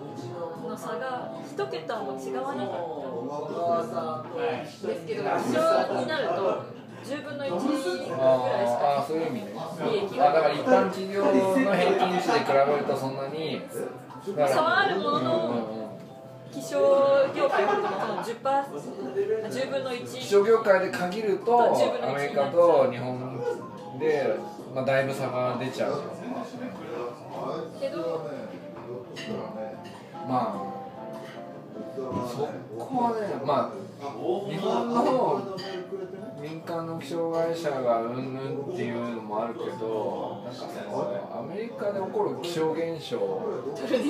自体がそもそもなんかそ規の模が大きいうんやっぱりでかすぎるよね。それはそういうニーズが高まってる当然で金はとこ当然そこにそこ注がれるというか保険会社確かアトラアトランタの方が3ヶ月間干ばつだったとか言ってました干ばつと思ってまあ大陸と島国の違いは当然そういうふうに出ちゃうし国内移動の飛行機がメインですそうそうあとその航空機産業が日本はこう潰されたまんま70年経ってやっと MRJ が飛べるかどうかっていうぐらいでそんなのそんなのだったら小川さんもいいあれが出てこないとね。まあ日本が出てきてもその気象会社がに具合が落ちるとは思えない今から出てきても。そその時には。やっぱりその一緒に育っていくもんじゃんその連携した企業同士が日本だったら海外が強いかもしれないけどその気象に気象情報を必要とする産業、ああ日本新幹線が強い。うん。まあまあ鉄道は強いか鉄もしれない。道が強くなっちゃう。まあだからそれはそれでいいのかもしれないけどそのやっぱ航空機海運両方アメリカって強いから。航空機それはまあ産業規模としては当然でかくない確かアメリカって鉄道そんなに発達してるイメージ全然それはそれはもう当然日本の方が圧倒的に技術も高いけどでも鉄道は逆にその気象に強いから。強い強いからってことですよね多分鉄道が強くなっでちゃったから飛行機の場合はもう当然ね死活問題じゃんまあ気象に弱いわけじゃないかもしれないけどセンシティブだったし落ちたら後だからねこれはもう当然莫大な金が流れるんだろうなとかでもそのなんかその前提の違いはだいぶあるなと思うインフラの違いありそうですね、うん。でで僕らは結構結果的にそのその産気象予報士の数だとかドクターの数だとか研究してる数だとかっていうところしか僕らは見えないけどそこだけ見てアメリカすごいなって俺も思いますけど結果的にそこに根っこその根っこを考えたらまあそれは当然そみんなそれでもむしろ向こうは足りてないんじゃないかなっていう。みんな飛行機で向こう飛行機の免許はその農家のおじちゃんとかが取れちゃうぐらいなので。あのもう スク農ーターみたいに乗ってるんだよね。いやそれは世界が違うからね。それはみんな気象情報大切ですね。こっちはなんかもう網目の歩きゃいいだろうっていうところぐらいまで全部地下鉄で張り巡らされてさあとリリニアとかできちゃったらもう飛行機どうなっちゃう。どうなのかね、飛行機好きの人うんまあだから国内で飛行機国内線の飛行機っていうのは東京大阪1時間かからないんですよね。リニア相当飛行機ねだから上がってすぐ降りちゃうもんね。40分かリリニアも50分。で大阪まで行けちゃうの結局ドアツードアで考えたら電車の方がいいよねってななること多い北陸新幹線とかよくその話あ小松空港まで羽田から行くのとーで小松からさらに30鉄道に乗ってでバス金沢か福井。行くのと比べたらあ北陸新幹線勝てるっつって開業したらしい北海道まで新幹線つながっちゃいましたいやだから意外とだからどうなのって言われてるところも鉄道強い。よ ねまあちょっと話してるけど。でなんかそういうまあよくわかんないけどそういうベースの違いが結局あって結果的になんかその予報士の役割にも一概にはなんかこう比べらんない。なでイギリスにはイギリスの求めてる予報士があったりいイギリスにはイギリスの求めてる研究者の ヨーロッパ役はヨーロッパはあれですもんあの農業が農業が農業というか土地が豊かなのでそっちの需要も農業なので向こう長期予報がすごい発達してるのはその農業農業というか。農業向けなんだよ農業向け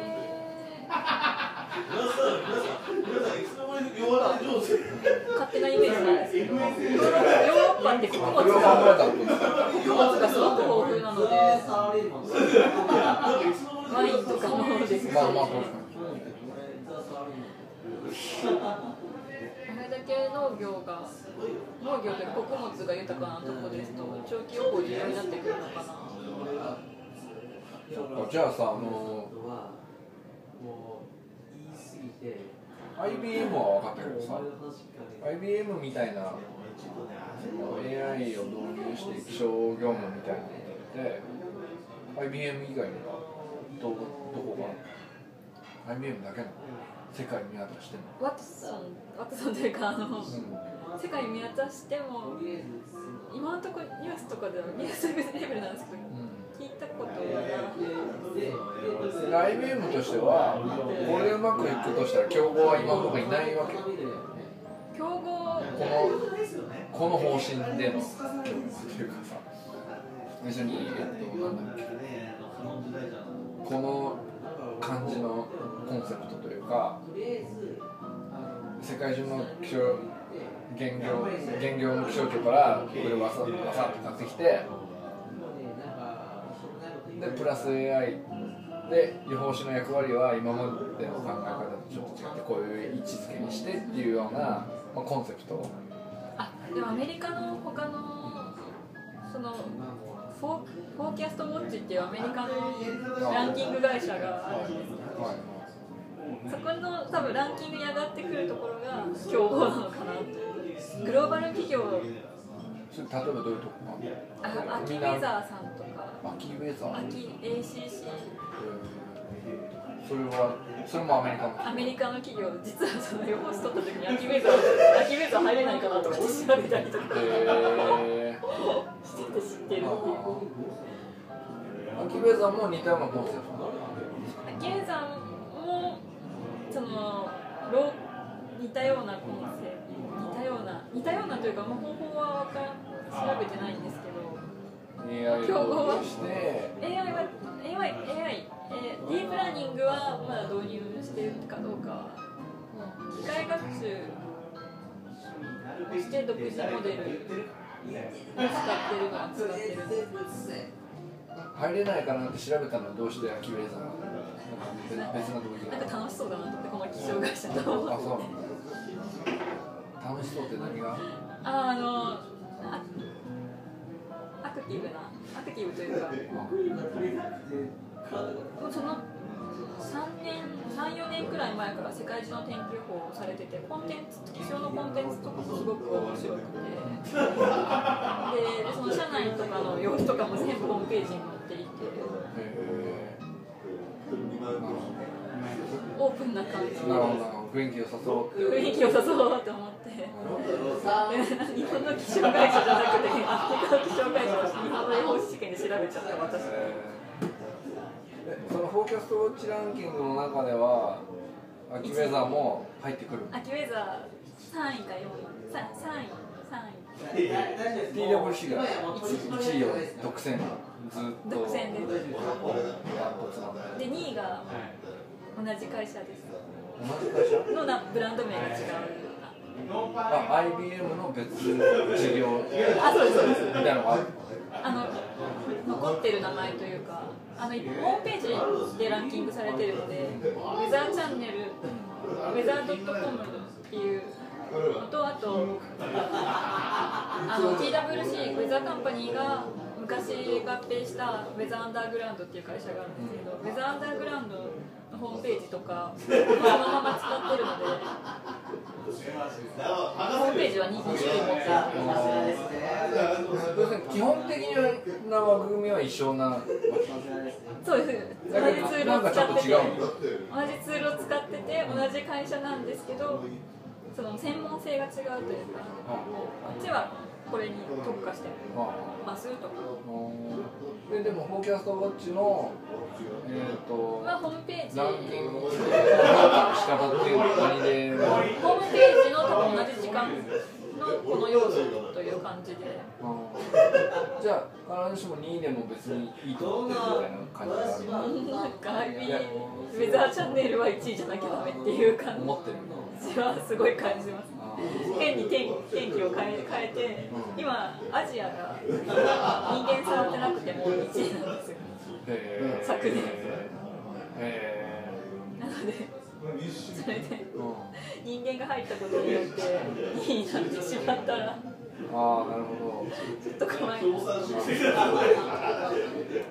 ちなみにそのフォーキャストウォッチのランキングの指標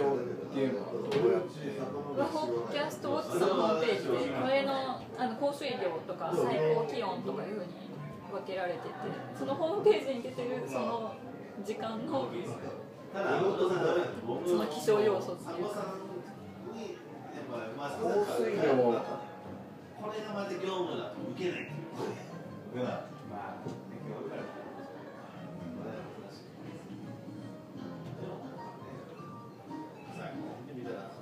ど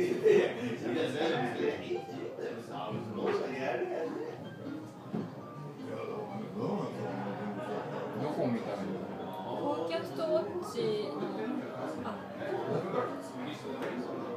のあここだ。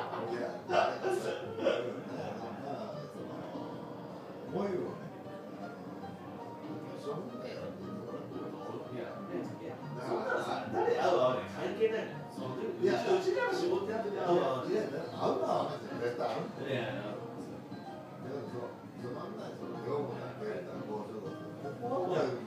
いやそう思うそう思うんですよえあ例えば24時間予報あちょっと画像が PDF しかなかったんですけどあれこういう感じでランキングが出てきます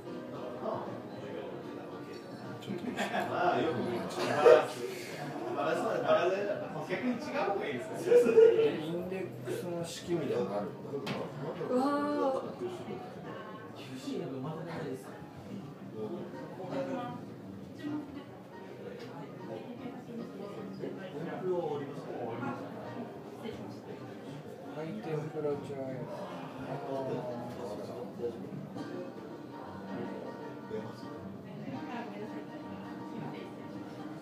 で例えばその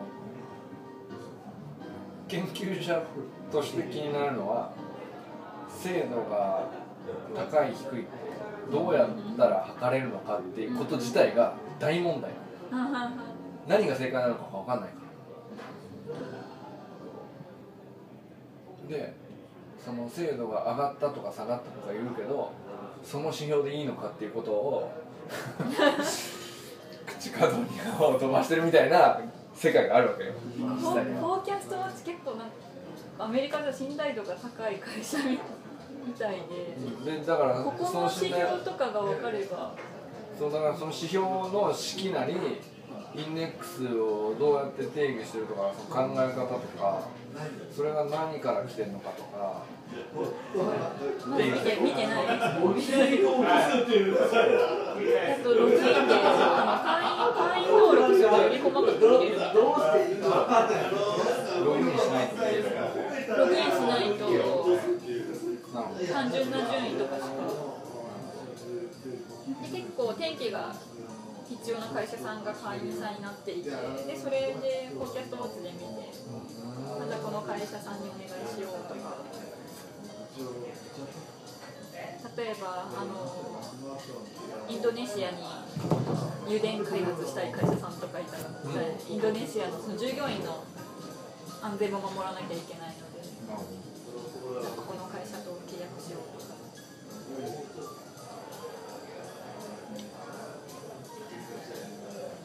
民間企業で働いてるとお客さんからよ指定される要素が精度がいい悪い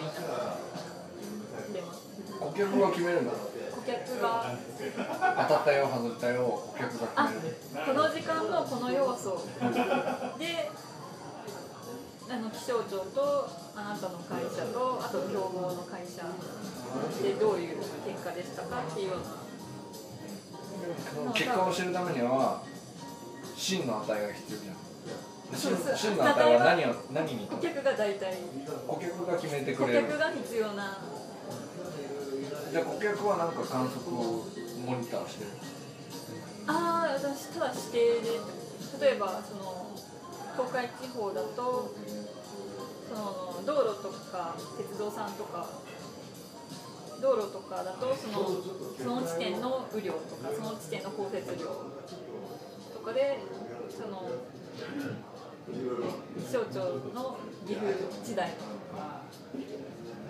降水量とあなたの会社が予報したのとあと他社さんのホームページに載ってるのでのでどこがで答え合わせするよね。で答え合わせの答えはどこにある、答え。うん、自分の会社で測ったのそこの雨をあーは答えは気象台の気象台の観測所観測所の答えを使う答えか自分の会社で測ってるところかお客さんがもともと持っているところかあそれはいろいろある大体お客さんがビジネスだとお客さんが決めるイメージがあの例えばお客さんが9時にどうしても予報が欲しいだと9時の9時に一番精度のいい会社を選ぶなるほど他の時間にいくら当てても9時に当たってなかったら採用されないあそうそうそうそうそうなんだよね。なんで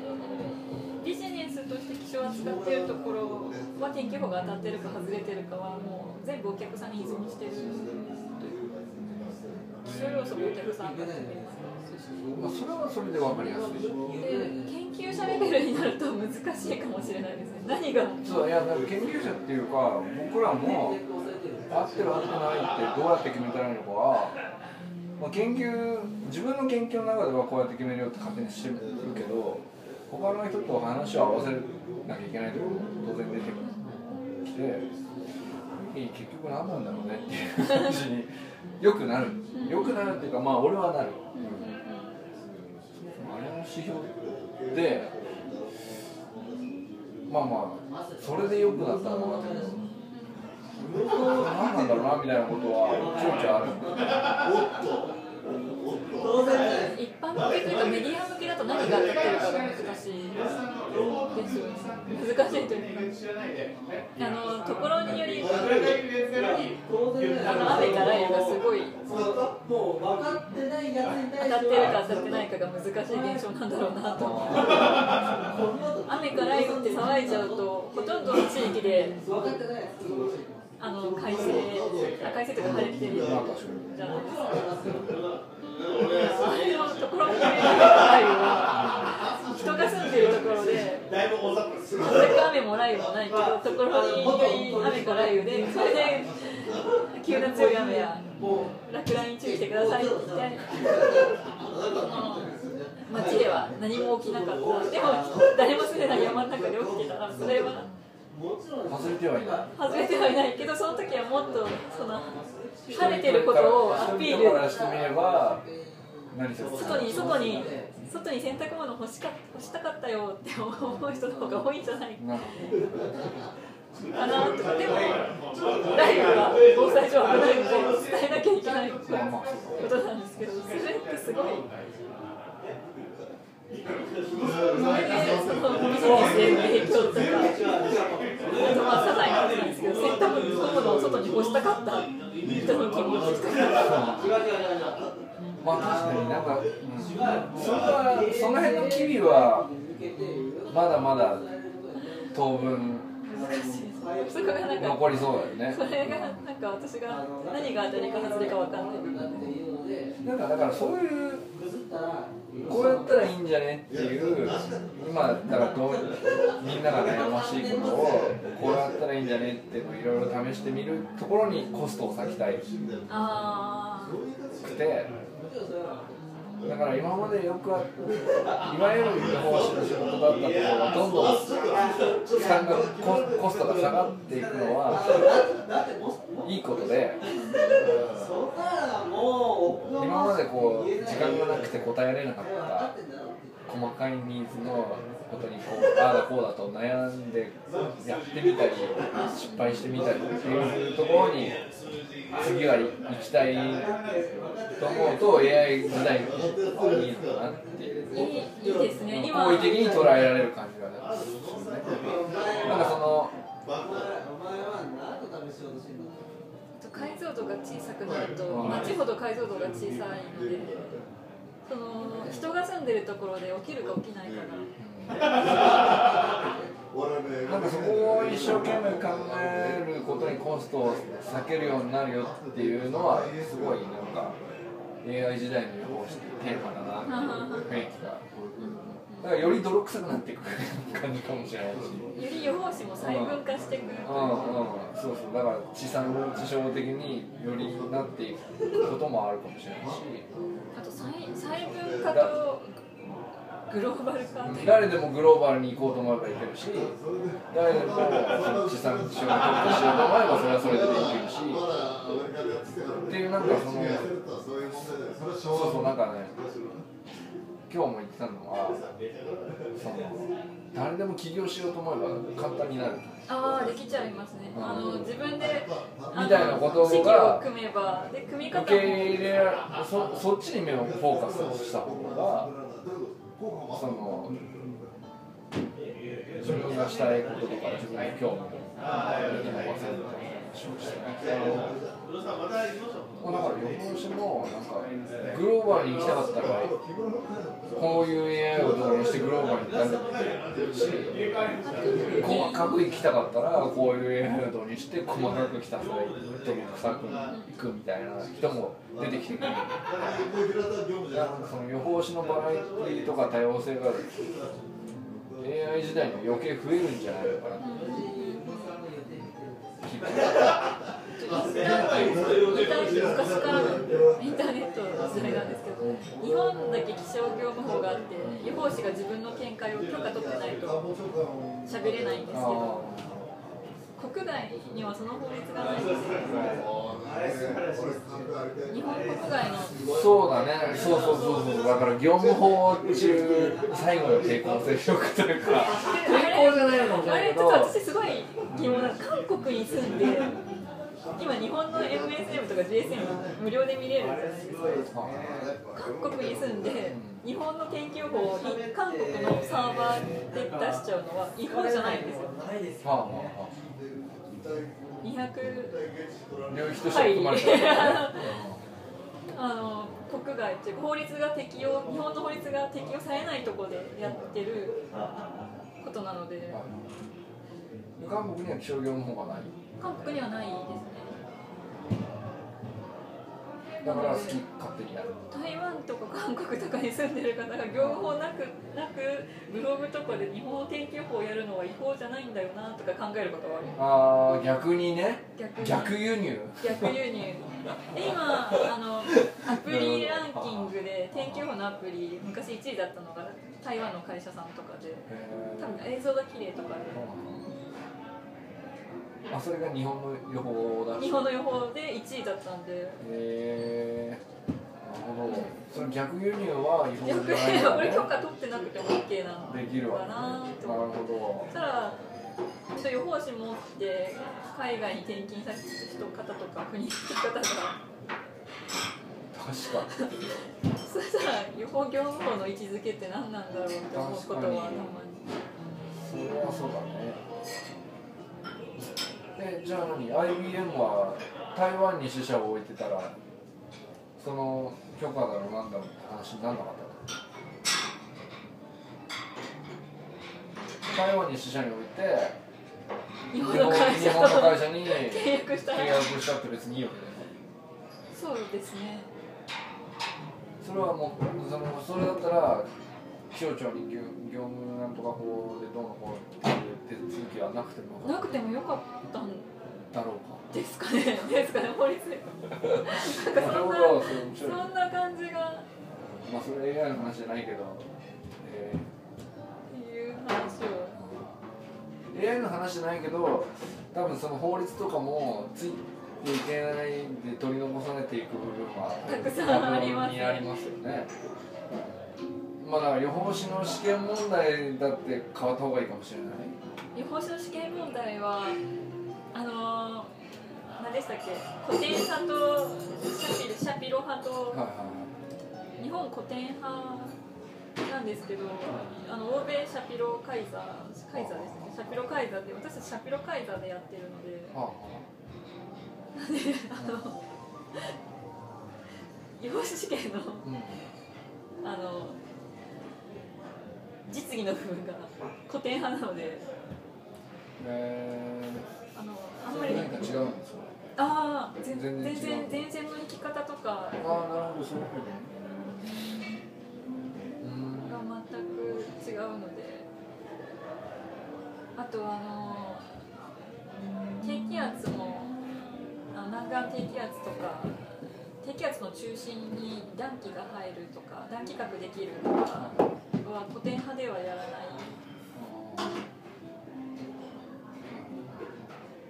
かそういうのも予報士試験って古典派しかないので、そこにシャピロカイザーさんとかも入れていかなきゃいけない。ああそれは考えたことなかったですね。シャピロカイザー。閉塞すると。うん。古典派は閉塞する閉塞するとはい。寒気が中心に入るっていう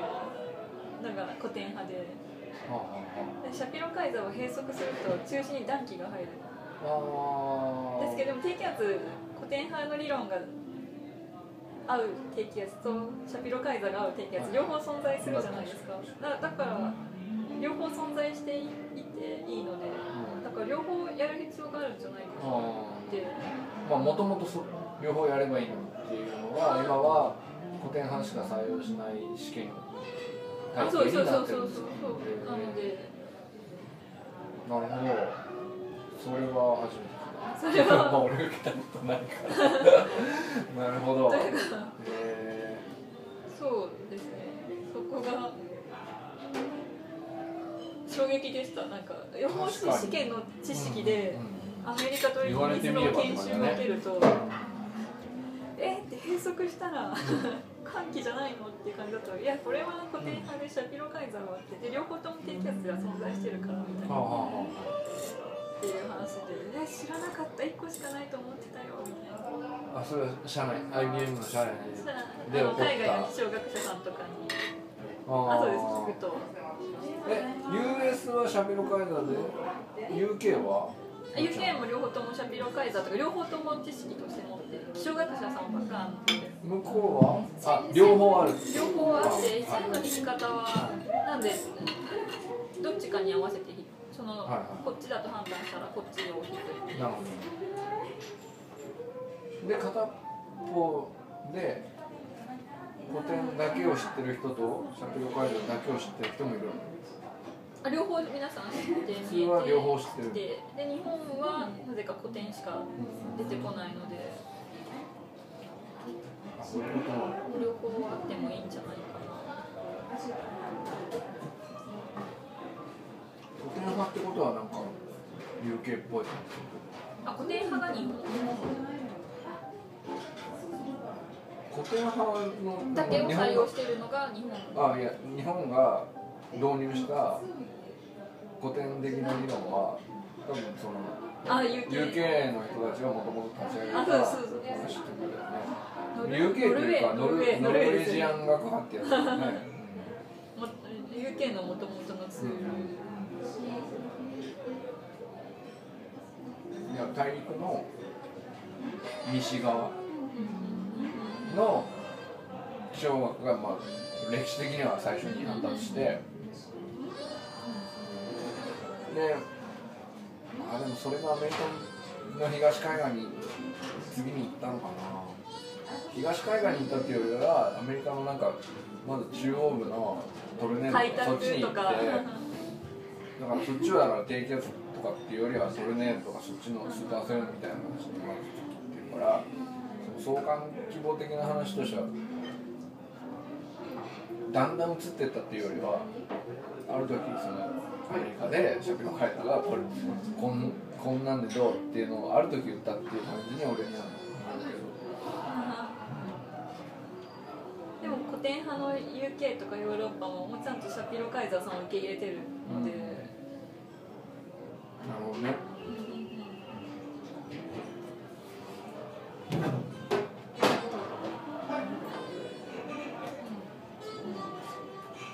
結構予報士試験の知識が。うん、でもその世界中で見ても大陸の東側、まあ、アジア全体的にそうなんだけどやっぱなんか特殊なんだよね。あいやだからアメリカとヨーロッパではそれで済むねっていう話がまあそれは梅雨もそうだけどあっちには梅雨ないじあないですねゃんだから梅雨の話してもピンとこない向こうの人たち。で梅雨の話でこう細かくなればなるほど余計ピンとこない どこまで行っても。なんか、まあ、別に梅雨は分かりやすい話だけど。あ大陸のか東側で。乾燥注意報が分かってもらえなかったあそうそう。そういうそういうのも多分そうだと思うんだけど。根っこを掘るとだからその大陸の東側っていうなんか異様さが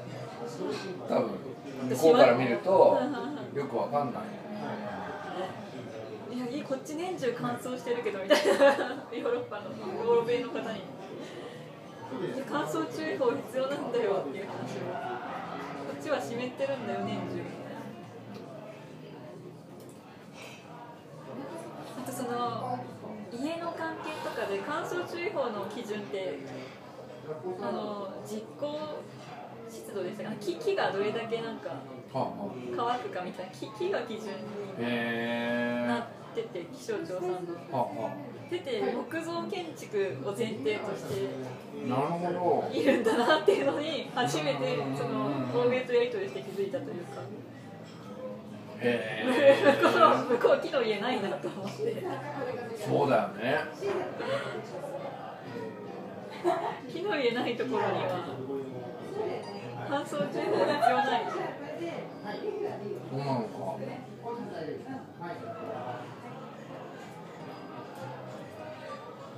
なんで乾燥と火災が向こう結びつかなくて熱波と火災が結びつく。はあはあはあ。森が燃えんだよ。家が燃えることないの家が燃えることはなく。そうだね。そこが新鮮でしたね。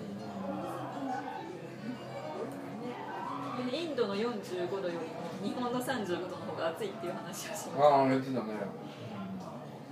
面白いな。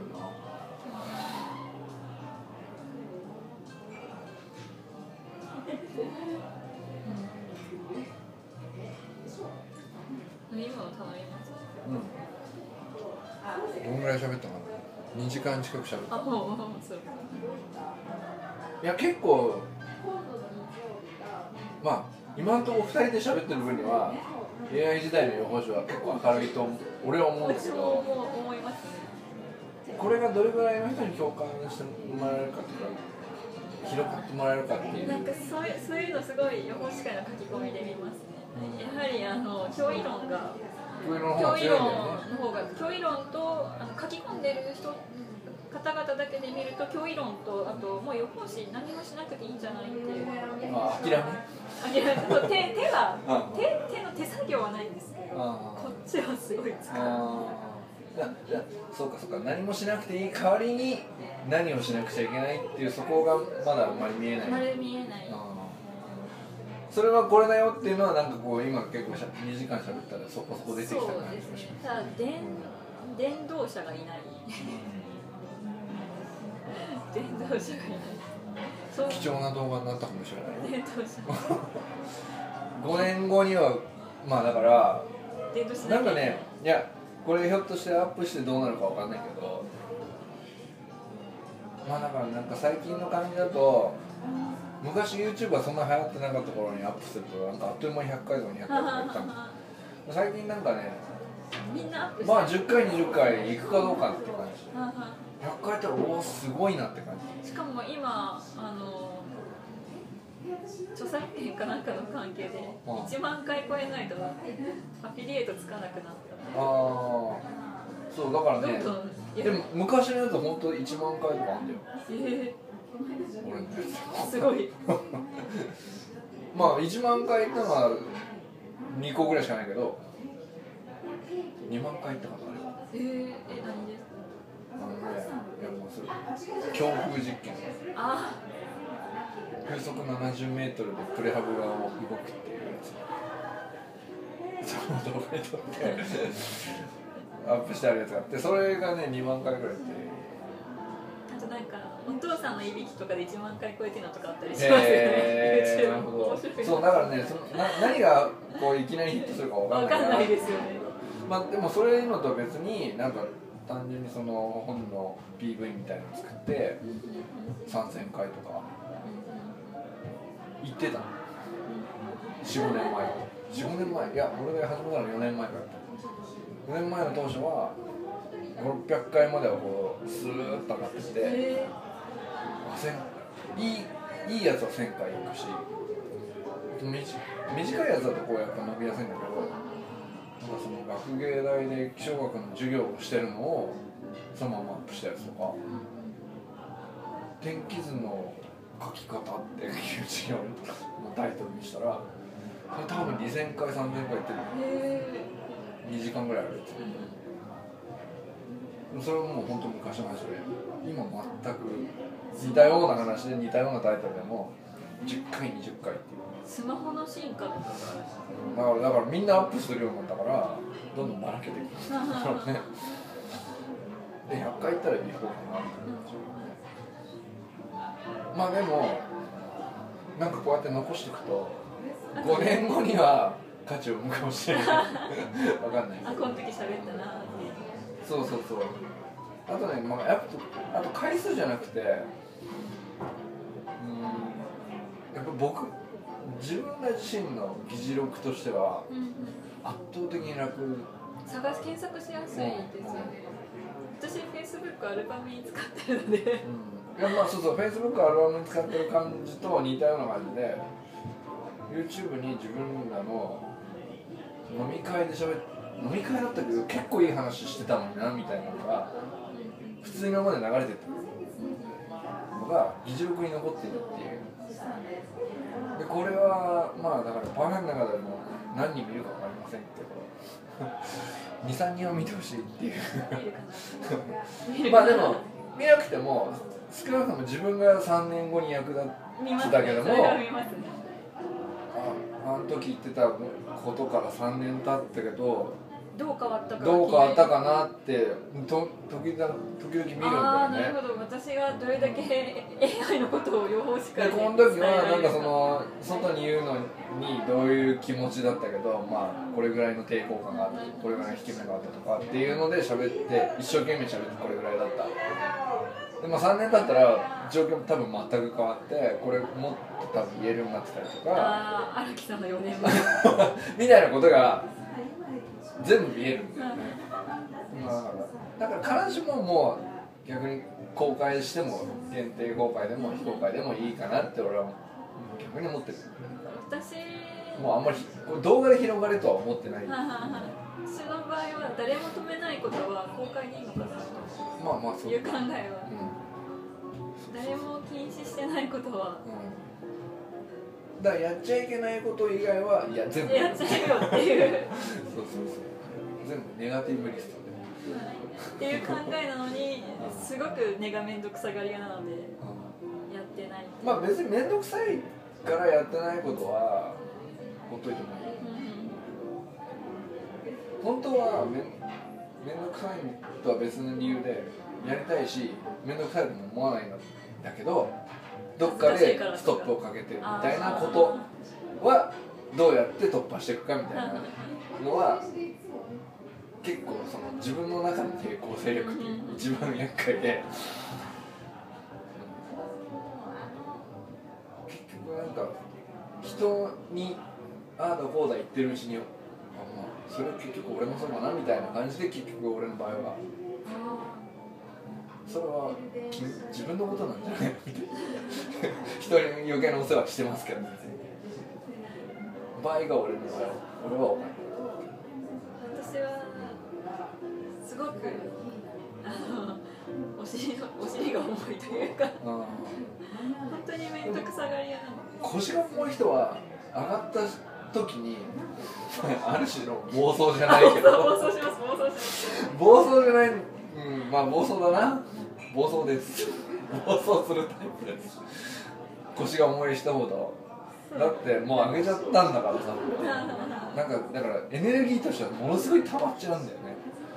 そういう人人前に出るのも嫌じゃないんですけど面倒くさいっていう方がすごい強いタイプで。すこの作業が面倒くさい。じゃあ人が舞台に上げてくれれば別にそれでいいわけね。そうですね。あの旅行会社で働いてたのでその説明会とかで人前で話すのは全然。ああなるほど。人目に触れること自体ももう特に。名前も顔もみたいなこともじ実際はそれ自体が抵抗あるわけじゃなくて単純に面倒くさそこにいっていうだけ。立つのが。階段を上がる舞台に上がるっていうこと自体に重力を感じてるだけで上がったら別に嫌じゃないよっていうやれと言われ仕事はすごい好きな仕事でやれと言われたことはやるんですけどその仕事以外が本当にぼーっとしてたいあ人間で、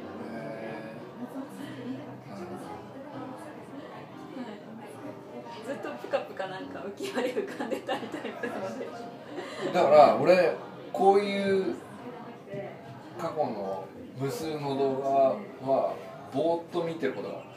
ってい。うかまあ見てもいない。よなんかこの聞き流してる。あしかも2倍速。でー今2倍速とか使えるからいい。そうそうそう。2倍速で YouTube 見てる人皆さん2倍速で見てる方多い。うん。なんかねもうだから普通の人の普通の話し方がとろくて聞いてらんない。そ うえ英語と英語と一緒ですうんうん。英語は私2倍速で聞くようにしててへえあそうなんだ。そうすると耳がすごい鍛えられるので。あで2倍ー速以上は人間の脳って理解できないんです。あーそうなんですか。2, 倍速で聞くのが一番多言語習得のへキーになるっていうので英語あ英語2倍速っていうのは英語2今初めて思いついたな。でそうかそうするとかあのはいはい。普段のスピードがすっごい英語がゆっくり聞こえる。ので、あーあなるほ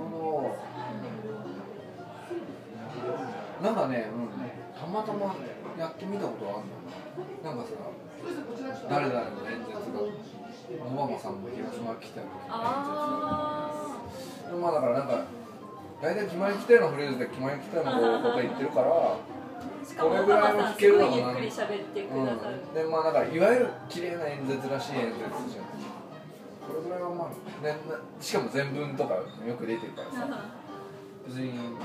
カンニングシュートなんかいけるみたいなやつでどれぐらい聞こえるのかな聞いたことあるんだけど。もうそれ2倍速で聞いてた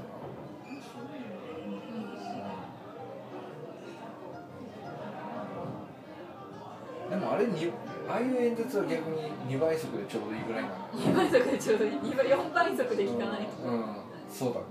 あれはまたさらにゆっくりだからね。研究発表ぐらいの感じを2倍速で聞ければいいのか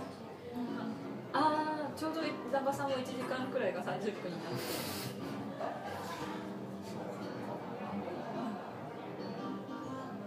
メリカの気象学会は全部聞いてるいや聞いてないけど録音してスライドとマッチアップして全部公開される。一般公開される。聞いたことある。リンクはあでも送られてこれもなんかあったよね。これのああこれもそうですこれも全部もっと細かいのが。HOTL に関するプレゼンも。あそうです。全部あったよね動画は。ね AI 学会に AI とか人工知能学会にも気象学会にも全部出してるみたいで。ああそうなんだ。ここがなんかアメリカっぽいな日本学会発表すると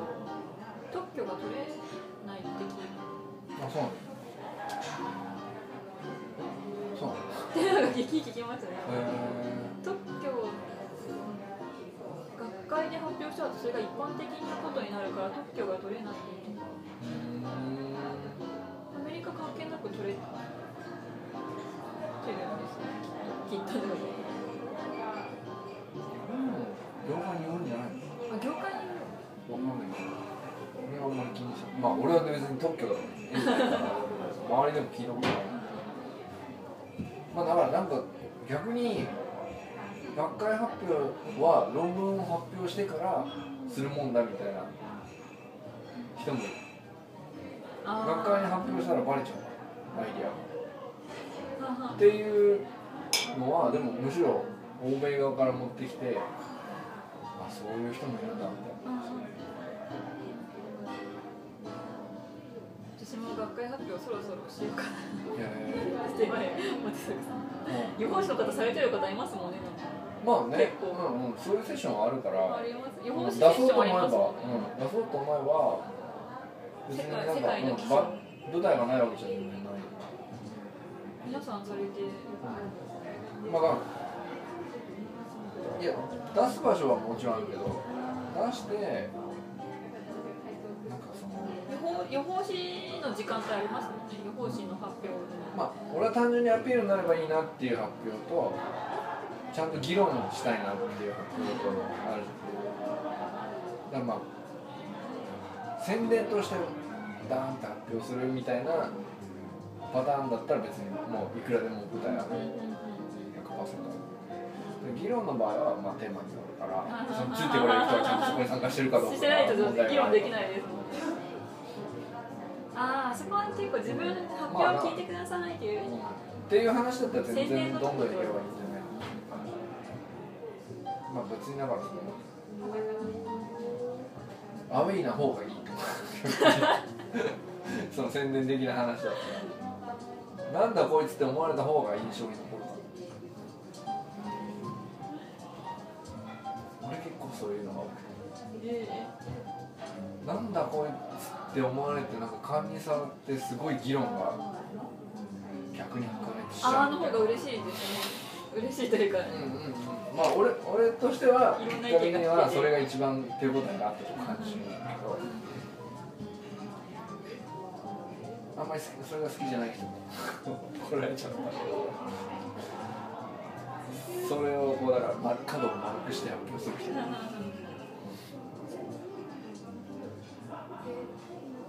そういう人来ると学会も面白くなる。あとはなんか企業展示自体に JPGU でも気象学会でもいいけど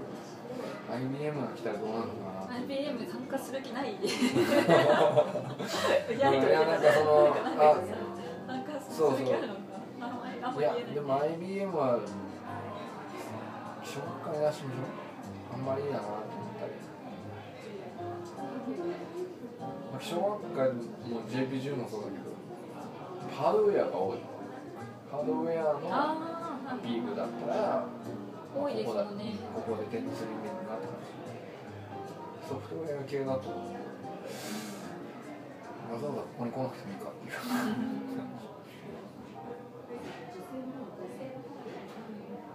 特殊ですよね、うん。それもなんか予報士官よく流れてました。ななんで参入したのかみななんで参入したのか。気象日本日本の気象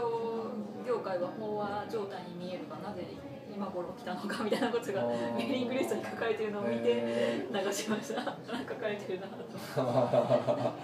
なるほど。気にしないようにしてるけど、ん。みたいな。なんて書かれてるんだろ面白いね予報士会は何？そのチューブだけでチューブ支部だけで閉全全国のメーリングリスト流れてるんですけど、ん所属はチューブに。入ってあそうなんだ。俺のところに神奈川新聞が結構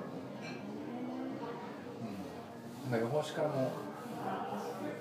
あるところで急に雰囲気が変わるかもしれないのでなんかこの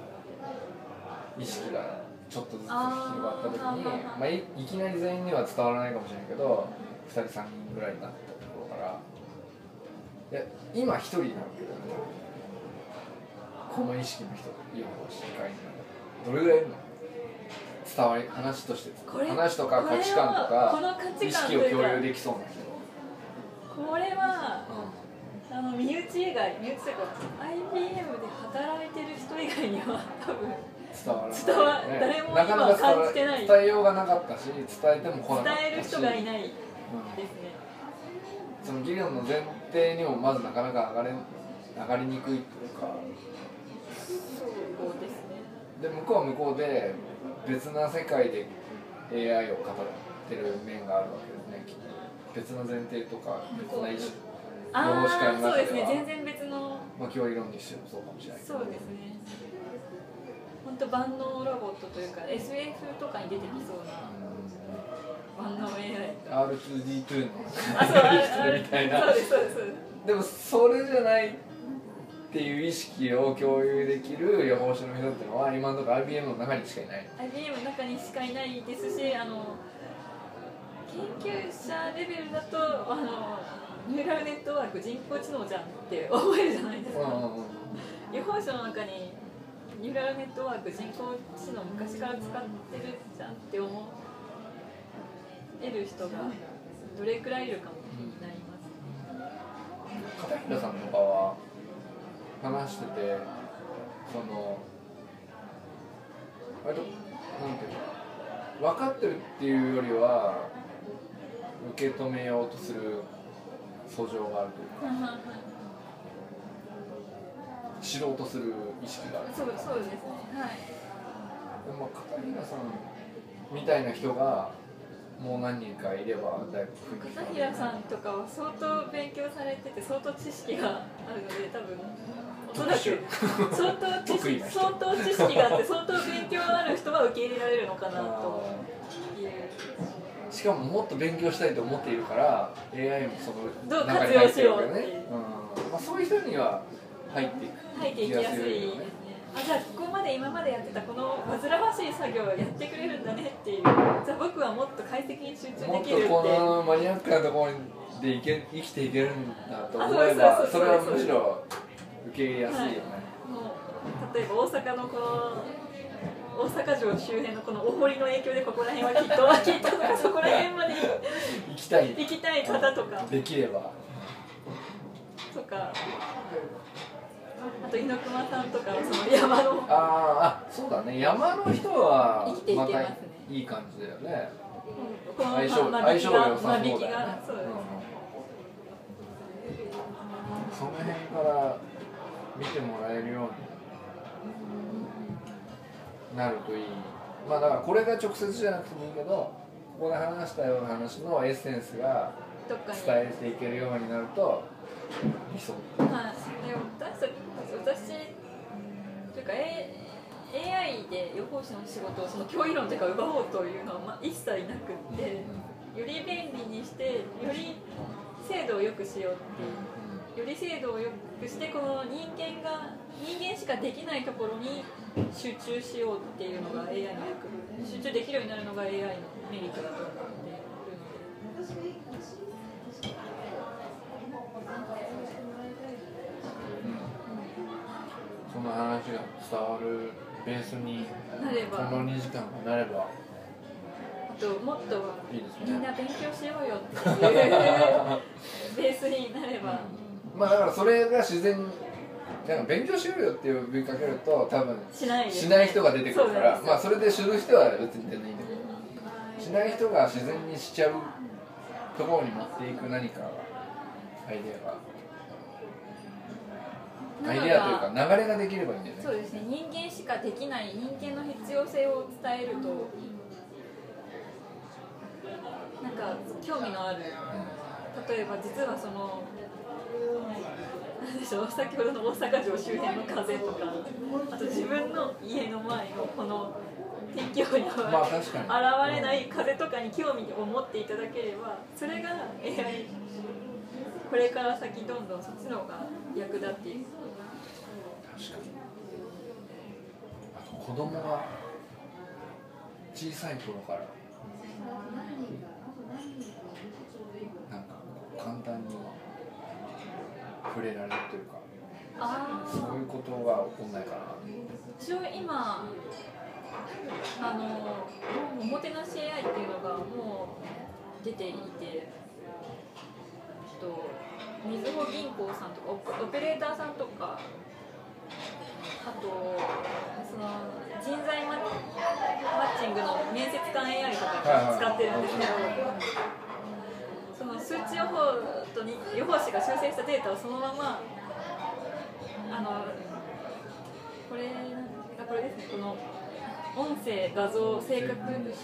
で音声音声 AI が言語を得意とする音声 AI さんがこれはそうだよね。聞き取れませんでした。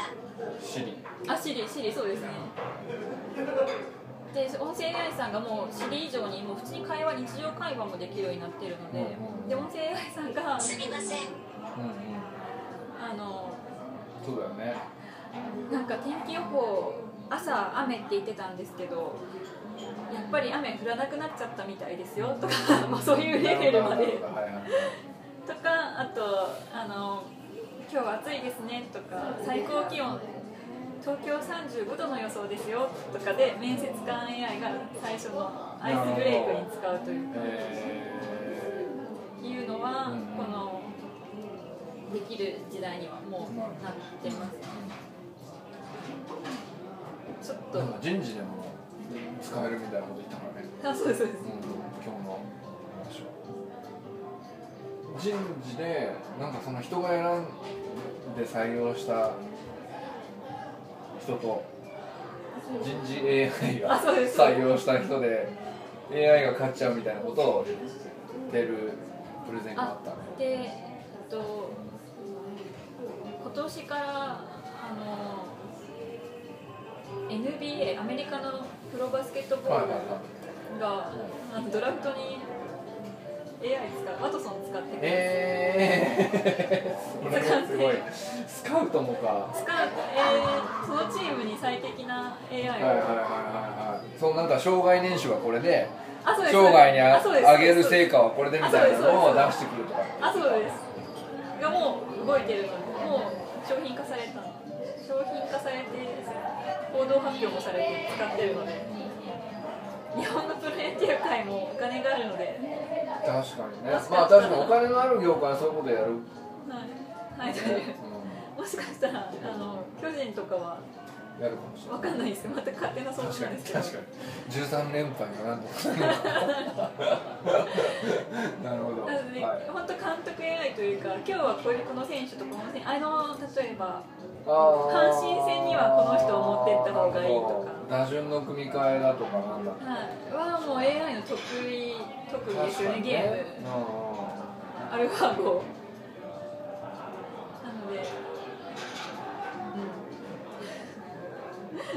台風の時はこの子が強いとかそういうことも AI もしかしたら。予報士を選ぶ能力あるかもしれない。確かにね予報士の適切な人を選ぶみたいなことが起こるかもしれないね。そっちの能力の方がこれからの AI にはなるほどね天気予報活用には。だからなんかその能力が突出していた方が逆に AI あそうはですそうです。平均的なことはできるからそうですそう突です。出したなんか能力の方が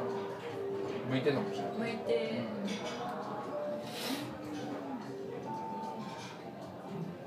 面白いなあなたはいつもこの時外すとかって言われる。でもこの時はいつも当たってるねとか。うん。そうだよね。それで別にいいんだもんね、はいそれ強みさえあれば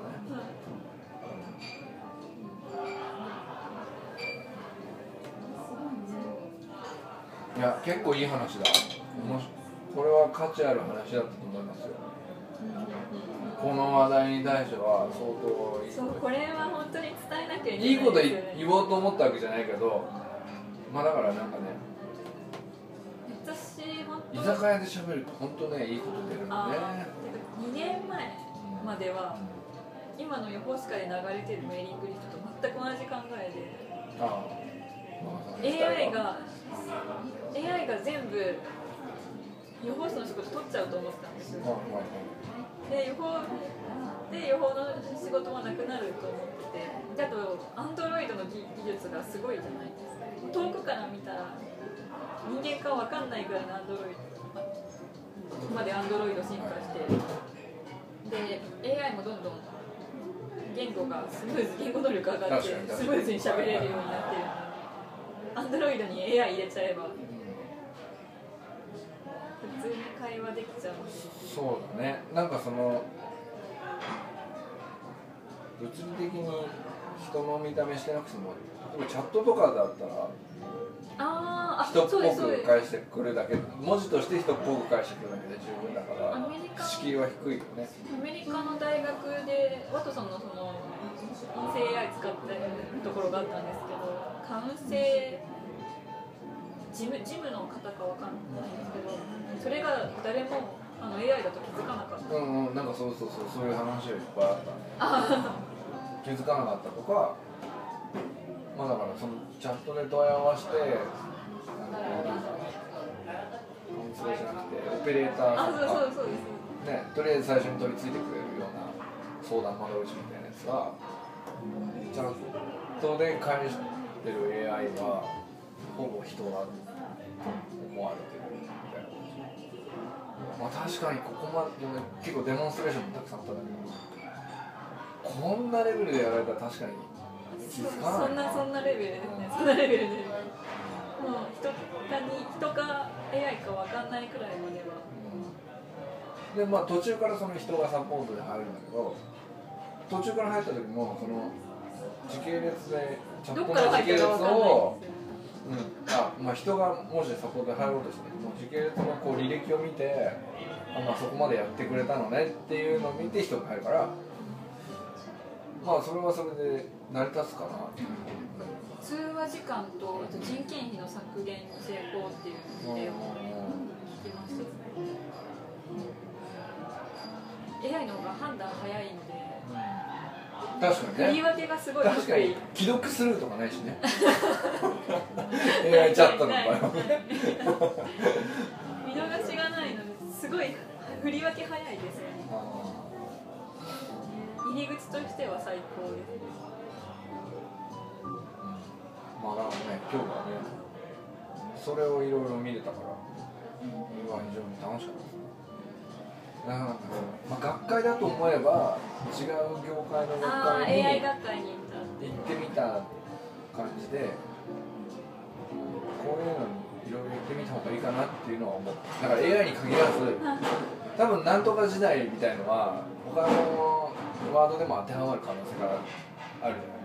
ですか。私ああの最近水戸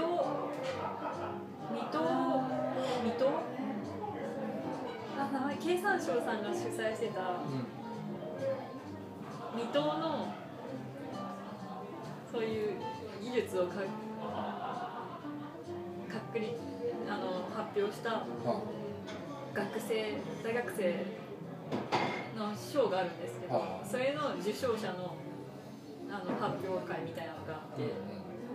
私行けなかったんですね。で作さんみたいに友人に撮ってもらっていろいろ説明とか聞いて来てもらったんですけどあのその方々もすごい面白かった水戸水戸？今まで誰も考えたことないアイデアを論文で出してへあの実用化までこぎつけた学生さんばっか集めた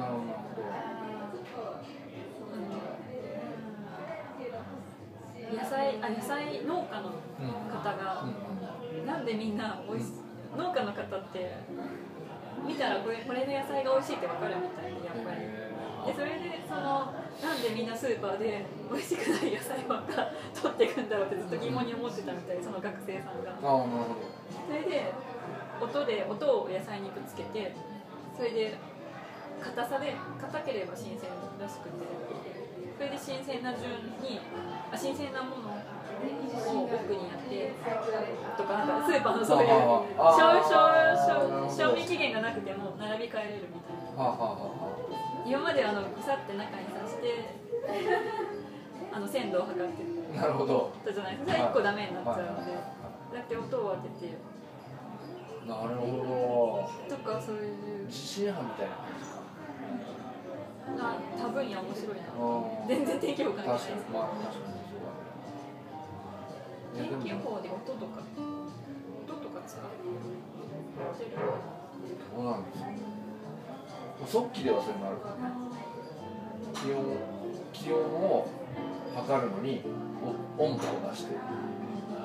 の音波の跳ね返りを気温の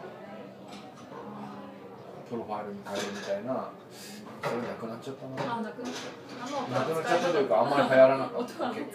うるせえし。あそうなんですすんげえうるせえ。あそんなに？あそういううるせえ。そうそうそうそっちそっ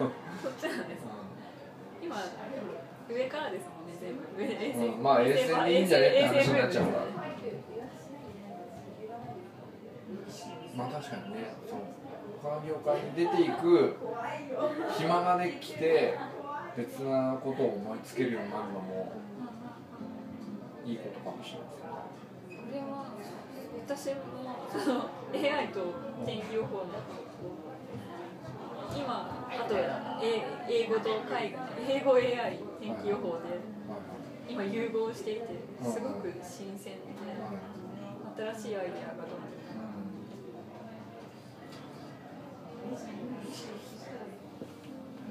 英語ね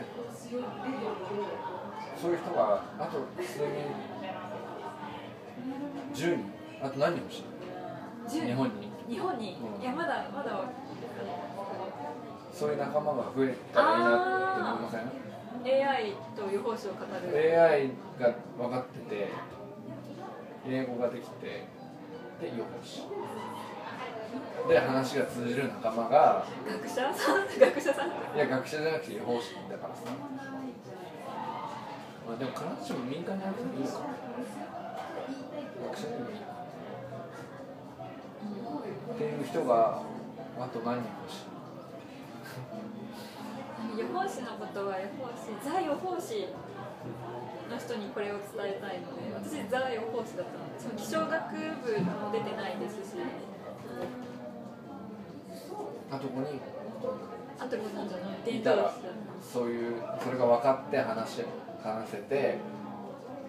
そういう各地域に一人話うん、話して別次のアイデアを出し合えるみたい5人か。な 5, 人10人っていう、5人か。AI エンジニアさんとき AI 畑でしか働いてない人とその気象畑でしか働いてない人が対談したら面白い。ああ集めて。みる集めて。そのマハランなりのコミュニティの中心になれるような自分がこういうの集めたら一番面白いんじゃないかっていうコミュニティをこう5人から10人ぐらいで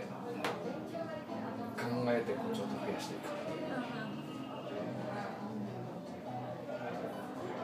のがなんかそのあったら面白いかなって思うでなんかその僕らはパフェで集まったっていうのはなんか今のところ見えてる形だけどでも実は京子さんもそうだし織尾さんもそうだし荒木もそうなんだけど実は自分中心でこういうなんか別の完全に自分が中心になってこれを好きなように集めてきてそこでそこでつるんで別なことを考えてるみたいなのを持ってるんですそういうフィールドを持ってる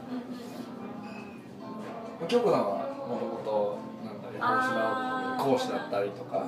するからそこを育てるためにちょっとこっちにパフェに踏み出してきてお菓子なのとちょっと付き合って 戻ってくっていうフィールドにいるわけ。あれもあれからってほらあるよね。一応今そううちこれは予報士会に伝えれればいいかな。予報士会に持ち帰る感じが一番手始めには。予報士会予報士本当メーリングリストで騒がれてるのでで私もなんだったら予報士にこの動画のリンクを流せた予報士会に。怖 い怖い。なんかさっきメーリングリストの話をすごいしてるので俺が書いたやつだって思う方がいっぱいいたので全部見てますよ。あってまあまあそのまま流さなくてもいいけどまあだから言えばそういうことや。ね。ここで話したようなことが予報士会に染み渡っていくのがまず起こってほしいことなんだね。そうですね。自分があの予報もう予報士はいらないと思ってた側だったのでもともと知識もなくてすごい伝えやすいかなと思って。いや私は1年半まで1年半前まで同じ立場でしたってそのストーリーは結構面白いかもそれはなんか文字がいいかもしれないああ文字それこそなんかその今度ブログ書こうとかしてもししてるんだったらまあブログの一記事にするというよりはプロフィールとして自分はどういう人間なのかっていうのの一番となんていうか典型的な特徴としてただの予報士じゃない。よでまあ AI が一つのキーワードかもしれないけど AI に駆逐されてされると思っていた予報士が AI を使うようになったみたいな 特徴付けをするとただの予報士じゃなくなってただの IBM の社員でもないしっていうなんかプロフィールとして。そうなんですよ。私はあのメーリングリストと全く皆さんと同じ考えだったので。そそれはなんかすごいストーリーとしてはでそしたはいら、染み込みそうなので伝えたいっていうのがあって伝えたいという方が誤解誤解して。だから私がこうまでしてこれを語るのはこういう理由ですっていうバックグラウンドが多分はっきりやった。最初に見せた方が聞こうかなっていう感じになるそもそもは俺はこういう人間だったけどこうな今はこうなのはこういう理由ですっていうその理由が聞きたくなるギャップがあるのは。最初からこっちだったらもう違う人になっちゃいああますそれはあなたは最初からそうなんだねだと逆にあんまり聞けない。けどギャップがある場合ヤンキー先生みたいな。そうそうそう。ヤンキーヤンキーがあった方が好きだよね。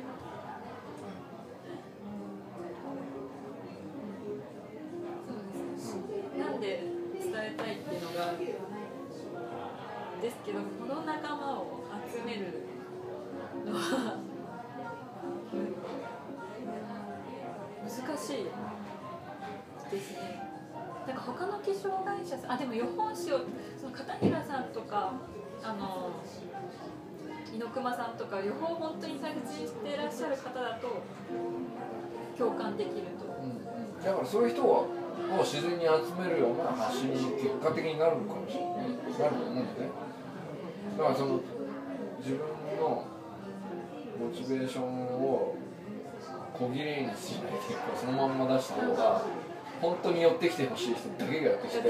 寄ってきて欲しくない人はむしろ離れていくっていう。これ結構ね最初こう売り出そうとするがためになんかこう小綺麗にしてしまうことがあ僕はかつてあったんだけどそうまり寄ってきてほしくない人に寄ってこられてしまう。わかるでしょ？わかりますわかりますそう。なんいやだからまあ確かに人気が欲しかったけど ぶっちゃけた話人気が欲しかったけどそういうことじゃないみたいなことにだんだんなっちゃう。それはでも結局自分の不正直さがこう招いてるところが多々あってなんかそのまあ不正直って言っても嘘ついたわけじゃないんだけどかっこつけてたりとか綺麗事の長くつ綺いちゃっ麗たみたいな。事だったりとか本当は言ってないところがあるあでもそこが一番その本当に寄ってきてほしいところを引きつける要素だったりする今まで隠してたとこ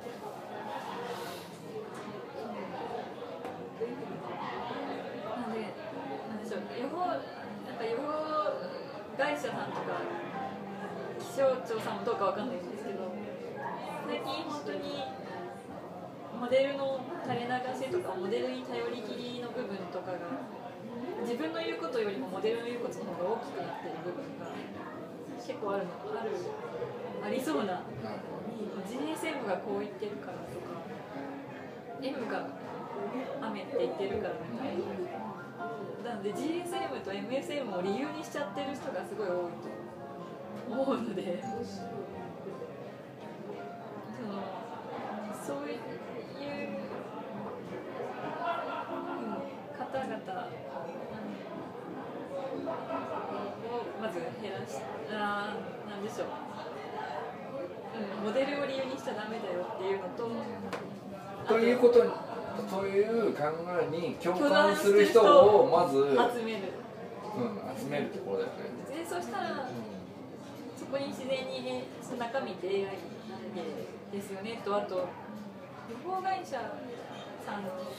がもうちょっとモデル垂れ流してるところが多いので。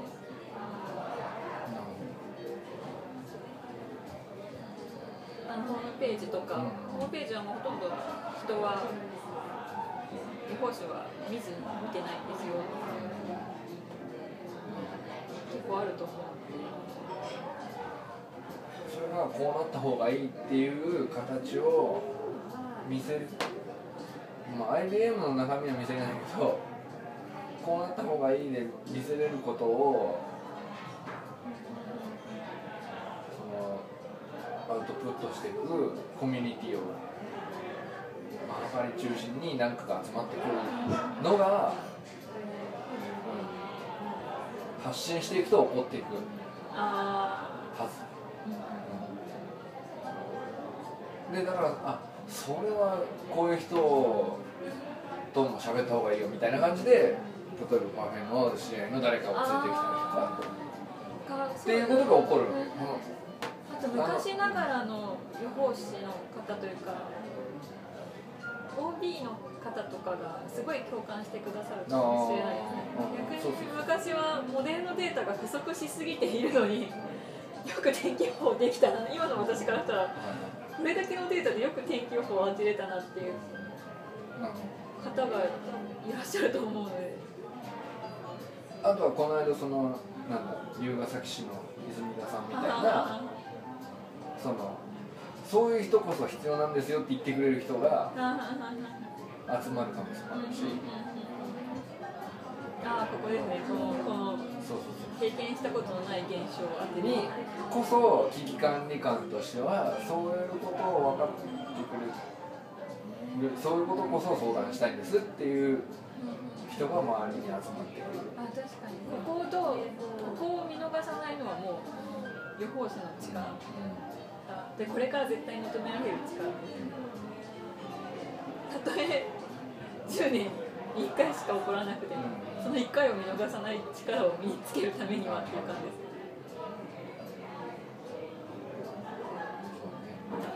いやこの間の泉田さんのは俺は久々久々にああいうので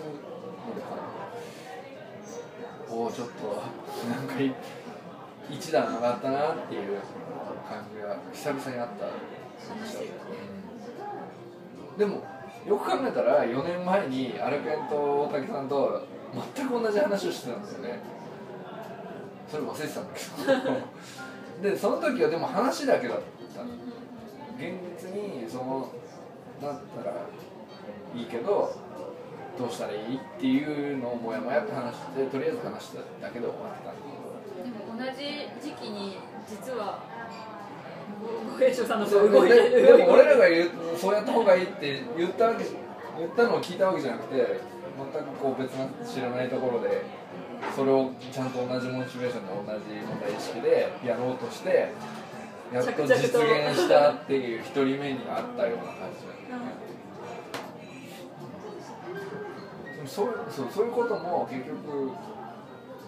発信してないと出会えない。発信しようと思って記録しないと気づけないとかそれもある多分なんとなくたまたまあの講演会に出てても寝てたかもしれない。ああでもそれ予報士予報士活用の真意が私も分かったっていうの、うん。その全く違うところがつながってあ上はこう考えてるのかっていうシナリオが見えた時に。で自分が何が見えてなかったのかが初めて分かったその、うん、制度にしろ法律にしろ、今までな本当なんかいや言ってたことは間違ってないけど全く見えてなかったなっていう感じな。にこう泉さんの話を聞いた時にそうか防災課ってこうやって それってこの人たちがこうやって担ってたのかと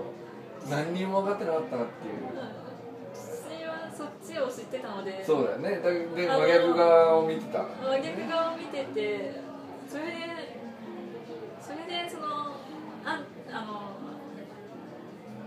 空いてるところにそうだね。気象庁さんが入ってくるついのかな。前々日ぐらいにその予報士が、ね、気象庁がそういうところに入ってくるっていうのは勝ち合うんじゃないかみたいな。その防衛省がその危機管理として防災対策としてこう各自治体に入っていってるっていうことと勝ち合ってそれはそなんかこでカバー問題なのできないかところとかにうん入っていくのかなと思って。と思ってたよっていう話になったん。だよねそしたら実は一緒実にやりたいみたいな。は、うん、両方うまくやろうと試みられてその第一段階がようやく実を結んだ人がその翌々日ぐらいに にたまたま公演したっていう。それはね感動も大きくなるよねっていう。私と表作さんだけで盛り上がってまあまあ確かにあ,、まあ、あの時はこの2人だけだったかもしれないけどまあでもいずれいずれに、うん、いずれ分かってくれると思う予報士活用の真意というかそれも伝えきれてないことで起きてる誤解ですよね。なね。そのちゃんとした管理のもとで活用されるのであの地位や名声が欲しいだけの予報士の方も 考えがちょっと甘い。まあまあだからそれがステータスにはだからならなくて肩書きでステータスっていうこと自体はもう終わっていくわけだよね。ねその私が知事に私の予報が知事に採用されるっていうステータスはうんうん。なくなってそうだね。その代わり責任がすごい振りどっちかっていうとその泉田さんが言ってたのは知知事なり市長なりの判断がこれだけスムーズになったっていうところをに誇りを持ってるんだよねあの人はね。知事の判断を私が作ったみたいな感じで誇ってたらまあちょっと次元がこう、まあ一昔前になっちゃうかもしれないけど知事の判断をこれだけこう迅速に迷いなくできるようになりましたっていう一言に俺はもうこう全てが込められてるなと思って あ次元が上がったなと思って。そうだからこういうことをやる仕事に格が上がっむしろ格が上がったなと思まあ、あとプロはプロとして認められたなという感じが指揮指揮する人は指揮する人であとはもう専門家に任せるというかちゃんと分業できてそれ本当それでスピーディースピードが防災は本当スピードが命なので。そうね。ああいうのが増えてってほしいなっていうのが、まあ、AI 時代とも限らないかもしれないけど、まあ、なん多分なんとか時代の予報士っていうのがこういっぱいこれから出てきます出てねアンドロイド時代の気象キャスターとか、うんなんだろうねわかんないけど、うん、こうちょっとフェーズが変わってって役割とかあと海外のモチベーション進とかまあ、外圧も含めて環境がどんどん変変わって自分たちも脱皮せざるを得ないっていうところに行ってきっと脱皮していくんだろうなっていう、うん、だからなんか危機感よりはすごい希望の方が多い過渡期に思われたなって。あと自分であの Google スカラーとかで知りたい最新の論文とか見れちゃう時代になるので、今までなんでこの現象が起こるんだろうっていう分かんなかったことが Google スカラーとあと Google 翻訳で英語ができない方も大体あこの理論かっていうのがはいはい。は検討大体検討。いいやそれはねきっと研究者のいいプレッシャーになると思いますよいいプレッシャーっていうかなんかそうそう。研究者に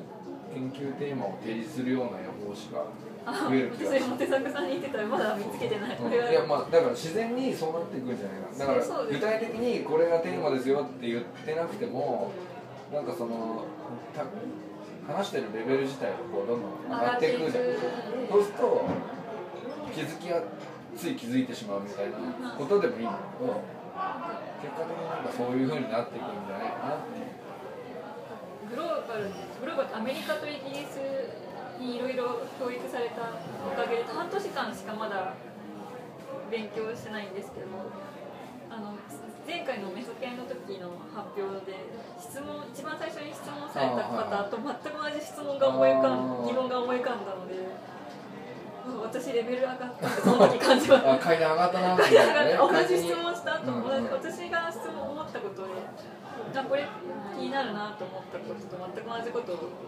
次は私が言わねば。いやいやいやいやそれはないんです。ようん。まあまああそこで言わなくてもいいけどそうなんかこう、うん、自分でもこの場なら自分でどんどん発言できるっていう話がコミュニティとしてこうこれから生まれてそうくる。予報士と学者のそのか壁壁が壁というかレベルが本当に自分で勉強したい人はどんどんかなんでしょうどこでも学べる時代になったので。そう言語が通じるようになるのはすごいか壁っていうよりはねレベルが高い低いじゃなくて話してる言語とか注目しようとしてる意識の先がどこにあるかとかがだいぶ離れてたのがこう近づきやすくなる近づき渡りやすくなったりとか、まあ、検索で超えられるようになる検索でそうです。検索で超えられる。だと思うんですけど、あとあのアフリカの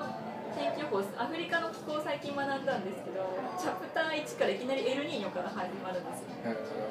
えエルニーニョから始まる。フリカで、アフリカ日本だとエルニー予報士試験エルニーニョって言葉を知ってればいいみたいな。チャプター1からエルニーニョと思って。エルニーニョの時はこうなるとかラニーニョの時はこうなるみたいな。でなんかやっぱりあと大気海洋結合の時にはお話しされてた TJ パターンとかもうすんなり入ってくるように。はあそれはすごいねなってて。はあはあはあ。あもうそういう話はむしろだから基礎基礎うんうん、基礎として結構やるんだね。なるほど。なのでへえ。なのであフィリピンあのあここら辺大量起こってるからこうなりますよねってい日本う話は圧部にな,、るなすんなり入るんだ。ってなんでそっから日本の天気を考えられます。うん。なんであまあ日本は来週ああそれはすごいね。あのなんでしょう雨量少なくなるよなって。でそこになんでこっちのこの対流があるからここに低気圧通ってもそんなに雨降らないんじゃないかっていうところまで持っていけるという。なるほどなるほど。まあだからすんなりつないでいける。話としてね。でもでもあの今回あの九州と南岸通った九州通ったのはあこれは熱帯の方から来たやつだから高速トーンに入ってくるよなとかそのどこで生まれたかとかももしそれが中国の北の方で生まれてたらそんなに高層トーンに西から入ってくる東から南から来るかっていうのの起源をたどってたどってそれどのくらい湿った空気が。そぐ理屈を当てはめて自然に話を考えられるっていう。の方がすんなり入りやすいというか。昔は高層と多いが入ってくるから雨とか大気の状態不安定だったんですけどなぜそのそう高層動員が入ってくるかが分かってなくて今だとあここで生まれたからこああその差はでかいこねで生まれたからここの空気を一緒に運んでくるんだなっていう。で晴れたら気温が上がりやすいとかあとこれはこっちから北の方で生まれたやつだからとか、なるほど。うん でと同時に。その差はでかいよ。あと同時に今フィリピン大雨になってるってことは日本は滞留少し抑制されるのかなとかうん。そういうなんか。まあ、想像としては働かしといても損はないよねっていうことをいろんな可能可能性として見ておくってわけね。可能性が選択肢が増えるというか。え。びっくりしました自分では大気海洋結合の話も自分でびっくり分かる。自分でびっくりしましたななんでこの話が分かるんだろうと思って。で立ち返ってみたらああそこでやったからだと。なるんだ。へえそれは面白いね。そういう人増えたら楽しいんでしょうね時間ですねあと時間が。うんそういうことを分かるための時間を作ってくれるのが AI なんだよね時間とあとそれを理解してくれる会社うん。組織。あ基礎が大切だよって分かってくれる。モデルがこんなモデルがどんどん精度上がってるからモデルをどんどんプログラマーさんとかウェブページ作る人にお金をかけてホームページに載せたりするのに価値を見出す会社かそれとも予報士一人一人の基礎の基礎体力というか。基礎体力あの気象学の学校の本当気象学のとこでも分かんないんですけどやるのか分かんないんですが本当1年生2年生とかで習うのをみっちりさせるそれはあれなんじゃない？きっと教育分野にも出ていけるでしょ？将来。教育分野？大学の小学研究室の教育分教育分野。野に出ていける。出ていける。ってことだよね。あー。基礎教育は。だって学生はもっと何もないところからそれ始めるはんはんはんはん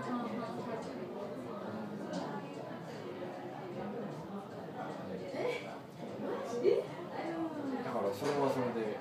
どうどういうことを学んでどういうふうに伸びていくかみたいなのも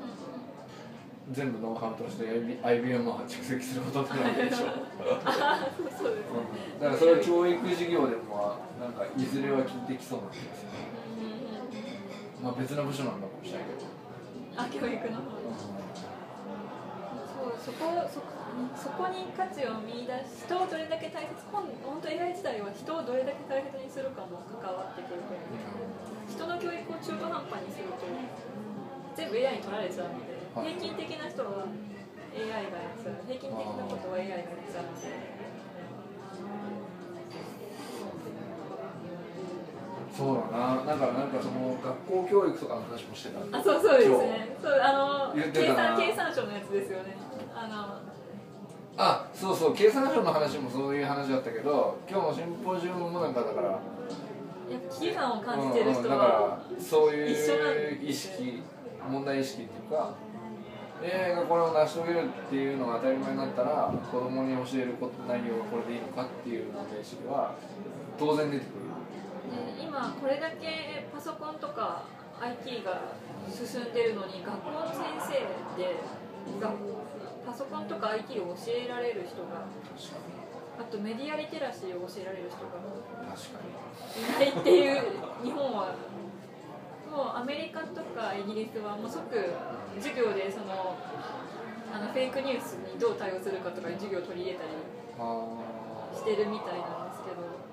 ニュースで今年からイギリス導入とかフェイク授業の対応とかーへあフェイクえニュースの対応。イギリスっぽいなアメリカとかも。なんでなんですけどそれでボランティアに頼らざるを得ないというか職場内とかにその理科の先生募集。あ理科のボランティア。確かにプログラミングプログラミングを組める先生はどれくらいいるのだろう。まあねインドとかはもう中学生で自分でウェブページ作れるくらいにはなってそうなんか日本は先生に習うというより勝手にやっちゃできちゃう子供がポコポコあありますねそういう意味ではなんか、うんそれはそれでありなのかって思っちゃうことがあるんだけどでそうするとそのその親に依存しちゃうので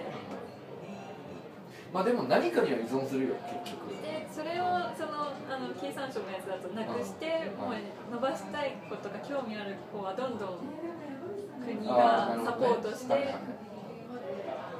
伸ばしていこうそうだね。まあ、あのスライドの話もなんか話したら長くなりそうだああれねあれはあれで2時間喋れそううんなんですよ AI ね時代はそうそう結局だからなんか似たような話なん似たようだよね似たようなそのこれ AI を何に置き換えてもなんかこうとりあえず専門性を似たような、高めないとダメだっていう。似たような話が出てくるね。ぜ全部に共通するのが専門性を。基礎知識と専門性。いそうだね。ちょっとこの辺に一回ししてあもう3時間も喋ってしまったから2杯目を飲んでなかったから するかはい。すごい。3時